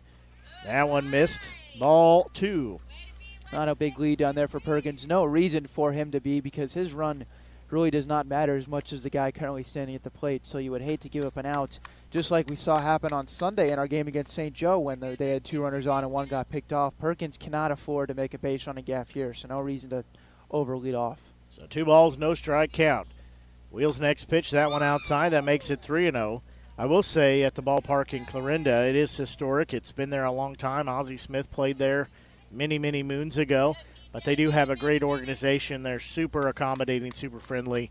Really enjoy the time when we get to go up there. But you'll get to experience that tomorrow and Friday as well. So three balls, no strike count. Wheel looks in. Now he's set. 3 0 offering. That one is upstairs. A four pitch walk issued to Rocker Bomber. Just the start to the top, or excuse me, bottom of the seventh inning that the Renegades needed. Now this will be first baseman Carter Gorling walking in. He's 0 for 3, strikeout, strikeout, 5 3 put out. And Coach D'Amelia just came out of the dugout to have a conversation with Gorling, and although now there's going to be a meeting at the mound, but regardless, he's coming out to talk to uh, Gorling, maybe talking about a potential bunt situation. You would hate to see what happened earlier in the afternoon when the Renegades had a similar situation and then grounded into a double play. Don't know if they'll put the bunt on here for Gorling, but regardless. They do have a pitcher warming up in the bullpen for the Merchants. That is Noah Duttler. If he played, uh, he played DH'd earlier today, yeah. yeah. Played, a, I believe he scored maybe a run or two, even drove in a run. So that'd be quite the day at the ballpark if you play a rolling offense in the first game, then close out the second. I'm a little surprised here that at the tying run that there maybe aren't opting to pinch run for Rocket Bomber. Obviously, you'd think maybe one of your outfielders, infielders upgraded speed over your catcher, but with the double double header, don't know how many players are available, so they stick with Rocket Bomber at first base. So Carter Gorling will step in now. You I think think maybe what uh, him and Mike were discussing about where he was going to put it over the fence at. That would be better than what I was going to say. And do you think I would see a bunt? But I would much rather prefer a ball leaving the yard. But Gorling will step in now. He's going to take a big rip and a miss there. Well, he was trying to put one over the fence. That ball, if he connects on time, I think that is out to left field, but was late enough to foul tip it into the glove. Here the fans start to clap here. Two runners on, nobody out. The uh, Renegades trail by two. Gorling represents the winning run. He's at home plate. 0-1 offering. He fouls that one off. He's going to try to leg it out. They will throw down to first base to get out number one. But the runners move a little bit closer. Tell you what, that's as good of a bunt. I'm sure they would love to not have to give up an out to get it, but you advance the runners, and now a single maybe ties this game, and it's someone who leads the Renegades in home runs this season coming up to the plate. So, really, maybe not the best result after all. That's a bunt that went all of about maybe a foot in front of home plate, and tell you what, what great way to break out of kind of a slide here for Lovich than to hit home run number four on the season. So center fielder Ross Lovich is stepping in now. He was hit by pitch in his first at bat, flew out to right field, and then also hit into a 4-3 put out the first out of the last inning. First pitch to him, he'll take that one as strike one. First baseman plays a little bit off the bag and also plays deep. So if Lovich were to hit a ground ball down the line, it's more than certain enough to get into the outfield the way they have the first baseman positioned. Also a big gap between first and second. Catcher Buss goes through his signs. Now Wheel will stare at third base, check at second, look back home. 0-1 offering. That one's a big swing and a miss. Or strike number two. Like you said, a big swing there. Wasn't able to come up, but still live in the at bat. But you'd like to see, uh, with one out and two runners on, need the Renegades hitter to put the runner put, you put to the ball in play. Again, looking back in his wheel. No balls, two strikes the count. Again, one out here, two runners on. They're in scoring position. Next pitch, that one in the dirt. They'll say Lovich did not go around. And that will get the coach out there to have a conversation. He, he needs to throw him out. Yep, thank you, thank you, thank you, thank you. So the coach is thrown out of the game finally. It took him sprinting from the dugout, clear to talk to the back judge before he is thrown out because he wanted the call to go around. So he's still having words out there for the umpire. That is something unforeseen. In a one ball, two strike count, the other team's manager came out in a full sprint. Well, we should expect it because he was arguing a 2 0 count with his own batter. I, I mean, and I don't know what the rules are here, but he certainly made contact with the umpire, too. And in the big leagues, that's an automatic suspension. And I don't know what the rules are here, but uh, that was certainly over the line. I think there's a uh, suspension as well if you make contact. Well, I, it certainly looked like he at least bumped the field umpire, and that's just a gigantic no-no. We want to let the the, ump, the managers and umpires argue a little bit, but that was just a full sprint directly at the umpire for. I mean, it wasn't even like that was a clear swing there by Lovich. It was close enough to be called either way, not definitive one way or the other. And man, that's just that's just not good for the game. I'll tell you that. So now I, I don't remember. And I don't know the rule book enough. Does he have to uh, exit the ballpark then? I do not know. Umpires looking. I'm thinking there. so because I see Mike D'Amelia, the head coach for the Renegades, is out here, and I I don't know.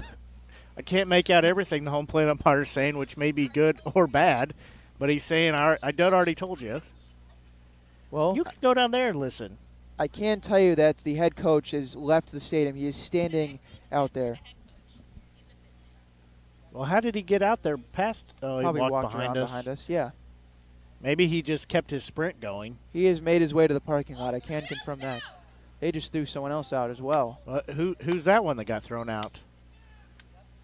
This is a wild turn of events in a game that not only it's the craziest part about this is that the merchants are leading this Well, ball now game. there's two or three people that are coming out. So did he toss more than one person? This is crazy from a team that is winning the ball game. That's the they're they are winning. Ashley, we need you to go down and find out what's happening for us. we need we need boots on the ground over here in the dugout.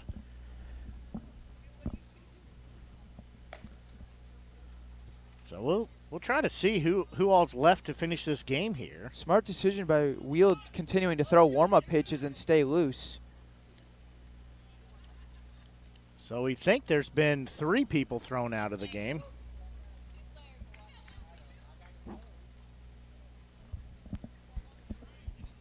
Can still see one of the coaches that got ejected walking around behind us in the uh, parking lot. Now the two players that are going to follow him on out there. So to get you reset here is one ball, two strike count. One out here. Runners on second and third. Renegades trail by a score of three to one. This is Lovich at bat. That pitch down there called strike three. That is out. Number two, I really expected somebody to come running out of the dugout there to argue with that on the uh, merchant side, but nobody came out. So now this will be shortstop Taylor Hopkins as he steps in.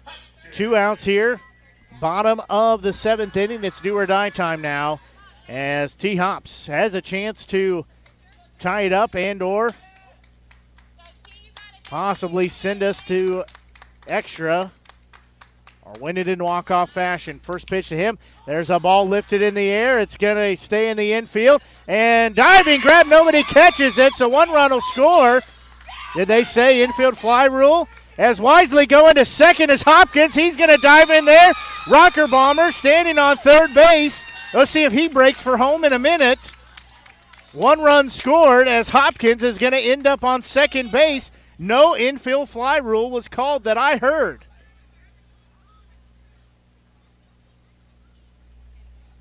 I'll tell you what, this is about as wild of an inning as you can get. And that ball looked like off the bat it was going to be out number three. And Ashley Carty needs to get her mouth washed out with soap. Now a ball hit into the outfield could win the game because Hopkins moved up to second base. So Hopkins is going to get credit for a double on that.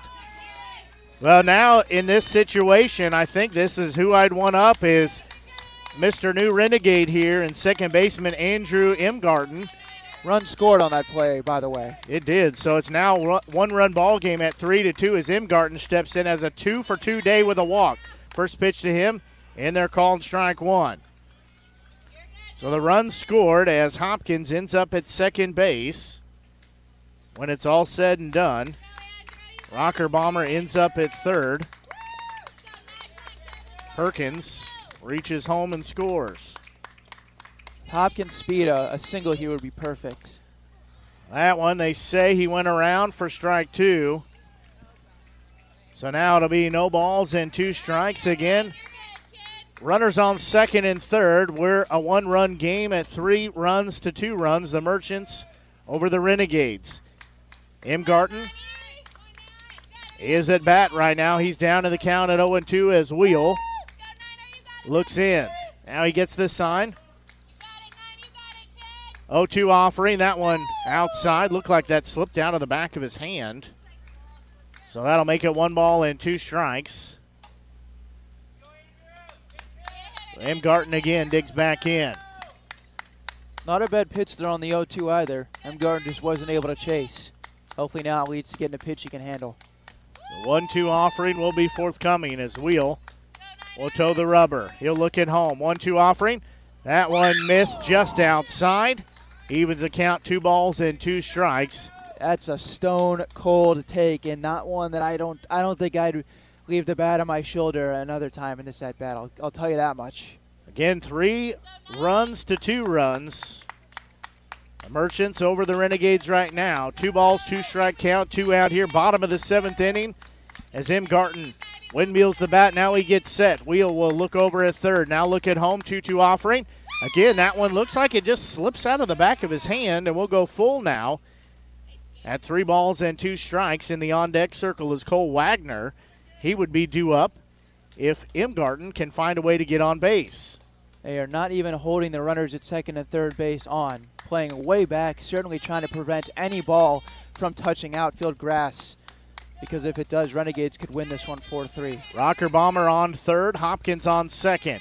Payoff pitch on its way. There's a ball that's going to be fouled off, so we'll do it again. And Brady Maltby came up with that foul ball like he was going to throw it at one of the players for the Merchants. So a little fun being had in one of the most tense moments of the ball game. Three players, or two players and a coach, have already been thrown out of the game here for the Merchants. Here in this bottom half of this seventh inning. Wheel will look back in. M. Imgarten points the bat out, adjusts the batting helmet. Take a couple of practice cuts. Now he's ready. Wheel Look at third now home. Payoff pitch. There's a bouncing ball. It's going to be gloved at, at second. Throw to first in time for out number three. As that will end the ball game as that goes as a 4 3 put out to end the game. But we had some fireworks, both literal and figuratively, as we had some fireworks earlier in the game that were shooting off over to our left. And then we had some fireworks here in the bottom half of the seventh inning as a coach and two players ejected from the ball game here. And Renegades had a chance. They pushed one run across, but came up one short as they dropped the second game of this doubleheader by a final of three to two. Yeah, and despite the loss, it's it's got to be tough, especially when you drop both games of a doubleheader. But this Renegades team could have easily lied down, trailing three to one after four, or excuse me, three to nothing after four and a half. But each inning in the fifth, sixth, and seventh showed a ton of fight. I believe got runners into scoring position in every inning and loaded the base even a couple times and and multiple points throughout this bottom of the seventh and, and even the last couple innings. This game could have been put away and even though they had a little help go their way, I, I think this is yeah yeah you may not believe in moral victories, but they showed a lot of fight here tonight and they're gonna they're gonna win some games like this. I can tell you that they'll have a couple in July just like this, where the title turn. And despite losing in heartbreaking fashion last night and tonight, they there will be a couple that go the other way. And already seen it a couple times with Hopkins, the walk off a couple days ago. Wilmsmeyer had one on an error early in the season, and they're coming. And even though it's it's tough right now, they they are coming for the Renegades. Yeah, I think you're absolutely right on that. And you know when we look at these two games, and this is something that uh, head coach Mike D'Amelia talks about uh, for the Renegades, is that you know they're going to win some games, but that also means they're going to lose some games. And so, as we talked about it too, and playing a doubleheader, you, you really just have to have a short memory. You have to be able to go in and say, okay, we did good, we did bad, we did indifferent, but we got to clear that out. And the same would be true if they won the game. If they would have won game one, you still have to have that same idea is that you just get in and you say, okay, game one's over. Let's clear it out. Now we got to get set for game two. So game one going in seven to nothing in favor of the Merchants. Game two obviously was a whole lot closer in a three to two final, but game two was a much better played game for the Renegades than game one. Absolutely, it, it shows it shows the the ability to kind of wipe the slate clean, and also throughout the entire course of the season for every team in any league, you're going to win some games you shouldn't, and you're going to lose some games that you should have won. Renegades probably deserved to win the game last night, blow it in the ninth, and end up losing. I guarantee you, and I, I put a lot of money down on this, that there's going to be time later on in the season where the Renegades look dead in the water playing sloppy baseball, and then we leave the ballpark saying, How did they pull that one off? It's going to happen. It just didn't go their way tonight. Had the Renegades come back and won this one, it would have been on the back of some clutch hitting and even a couple errors as well, and maybe we would have said, Hey, Renegades got lucky. So stuff like that is going to happen, and just the key is just to stay the course. Like you said, wipe the slate clean because now you've got a big opportunity headed to Clarinda to take on a good A's team tomorrow. And if, if you let this one linger a little bit too long, I guarantee you the results these next two games of Clarinda are not going to be the ones that you're looking for. Well, and you know, you're absolutely right on that. And, and it's just, you know, you have to have that short memory regardless of which side of the. Uh, of, of the, the win or lose column you're on, you have to have a short memory, and you got to get at her and you got to play the game. But you know, you, you look at that and you say, you talked about that on on you you win some games you shouldn't have, and you lose some games that you should have won. But look at how many of those lucky breaks, like the stars aligned, where I'm, I don't think I've seen a game that had so many slow rolling balls that just were nowhere near getting to the outfield, but were able to put a to put a runner on a base path. That's something I've not seen in, in quite a while. That many in one game. But for the Merchants, that that was working for them. But both teams, another thing too, both teams leaving a lot of runners on the base path here tonight. Absolutely, and especially for the Renegades doing it early on, and eventually that comes, ends up bite them in the butt because they lose this game by one run, a final of three to two. And you can say, well, the Merchants did the same with some of their at bats early, especially when you look at this afternoon against Carricker, where they had base runners all over the base pass early. But it, it's going to be a kind of a thing there where I think you mentioned it too in these seven inning games. It just feels like whoever's going to make the first mistake is going to end up losing the game. Even though the Renegades fought back, they did make the first mistake, made the first couple falling behind three to nothing on the back of, like you said, the couple infield hits. I believe the, the one of the two runs that scored in the second was because just back-to-back infield hits, one to the second baseman and one to the shortstop. So just little things like that. Just Gate, they didn't go their way at the day did not go the Renegades' way here at the ballpark, not only losing one, but losing both. And I'm sure it's something that they're going to have to go home and think about. But new day tomorrow, and it's especially when you look at the July schedule. Renegades are going to play a lot of games in a short amount of days, and I believe it a lot of double headers too. I know we got one next Wednesday at home against Nevada, and then I think even the Wednesday after that they play a doubleheader in Nevada. So opportunities like that when you're going to play two in a day, 14 innings of baseball, where I can tell you what, it's a pretty good feeling if you walk out of there having taken both of them. It's a bad feeling here tonight, but they're going to have one of those games here at some point in the next month and a week or so where where they take them both. Well, unofficially 13 base runners left on the base path for the Renegades, and there were eight left on the base path for the Merchants. So they didn't quite leave as many left on the base path, but that's still uh, still a tough pill to swallow. Something that obviously both teams need to work on that. Particularly, I know for the Renegades, several of those base runners were left in scoring position, which is kind of a, a tough pill to swallow. And three for the Merchants that left the entire stadium early. Absolutely. So that's going to do it for our post game show here uh, for today. Any final thoughts before you get out of here, Ben? No, I would just have to say that uh, it's going to be continued ups, downs, and lows for this Renegades team. Looks like they're really turning a corner, won three in a row, and seemed on their way to four last night. Before the last basically 24 hours now, going back to the loss last night and the two losses here today, right back to three games under 500, and now all I'm left to believe is that it's going to start getting going again, and hopefully it starts tomorrow against the A's. Now we got an exhibition game coming up Saturday against the Legends, and then back to work next week. And now I got a couple off days, but uh, the the opportunity is there for the taking, especially in when you just look at records wise, the weaker of the two divisions. That's just a fact. That's not being mean to the Renegades, the Outlaws, or the Bombers. But when you look at the records, it's the the lighter of the two divisions, and the opportunity is going to most likely be there for the entire rest of the season. It's just now up to the Renegades to put some consistency together and take it.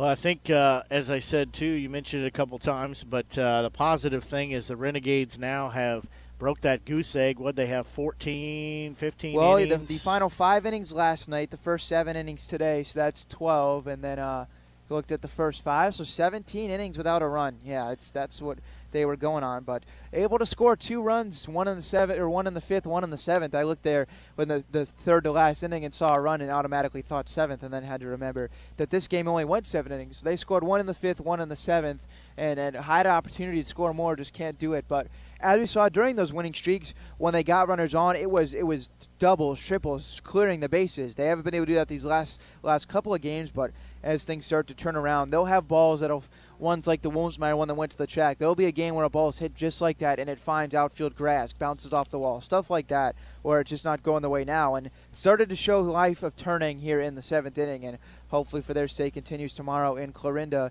in uh, basically the middle of a cornfield, as you uh, t- tell me. Yeah, pretty much. But like I said, it's a historic ballpark. It's a good place to go. They're good people there in Clarinda. So that's going to do it for our broadcast here today. As uh, Ben will make the uh, trek to Clarinda to have the next two games. That'll be on the road at Clarinda, one game tomorrow, and then there's another game on Friday, and then we'll be right back here for a non-league game on Saturday night as the uh, Jeff City Legends come to town, and that's always a fun night at the ballpark. That's also when we have a uh, a new thing we're going to be debuting for the broadcast. I've dropped a, a couple or uh, one hint so far. We'll have another hint tomorrow, and probably another one on Friday to uh, let everybody maybe figure out what we're going to be doing and what we're going to be adding. So it's going to be a lot of fun. So you're going to want to definitely tune into the game. Uh, obviously tomorrow and Friday, but for sure on Saturday as well. But uh, like I said, Ben will have the uh, trip down to Iowa. As I cannot make it for the time being for this go round of that. So that's going to do it for our broadcast here uh, for tonight's game as the Renegades drop both halves of the doubleheader. They fall in uh, game one to the uh, Carroll Merchants by a score of seven to nothing, and they drop game two by a score of three to two. Until uh, we talk to you here in a few days, until I talk to you here in a few days, as Ben's got the call tomorrow and Friday, and we talk to you on Saturday. Uh, for Ben Schmitz, I'm Blake Gasaway for the Show Me Sports Network. So long and have a great evening.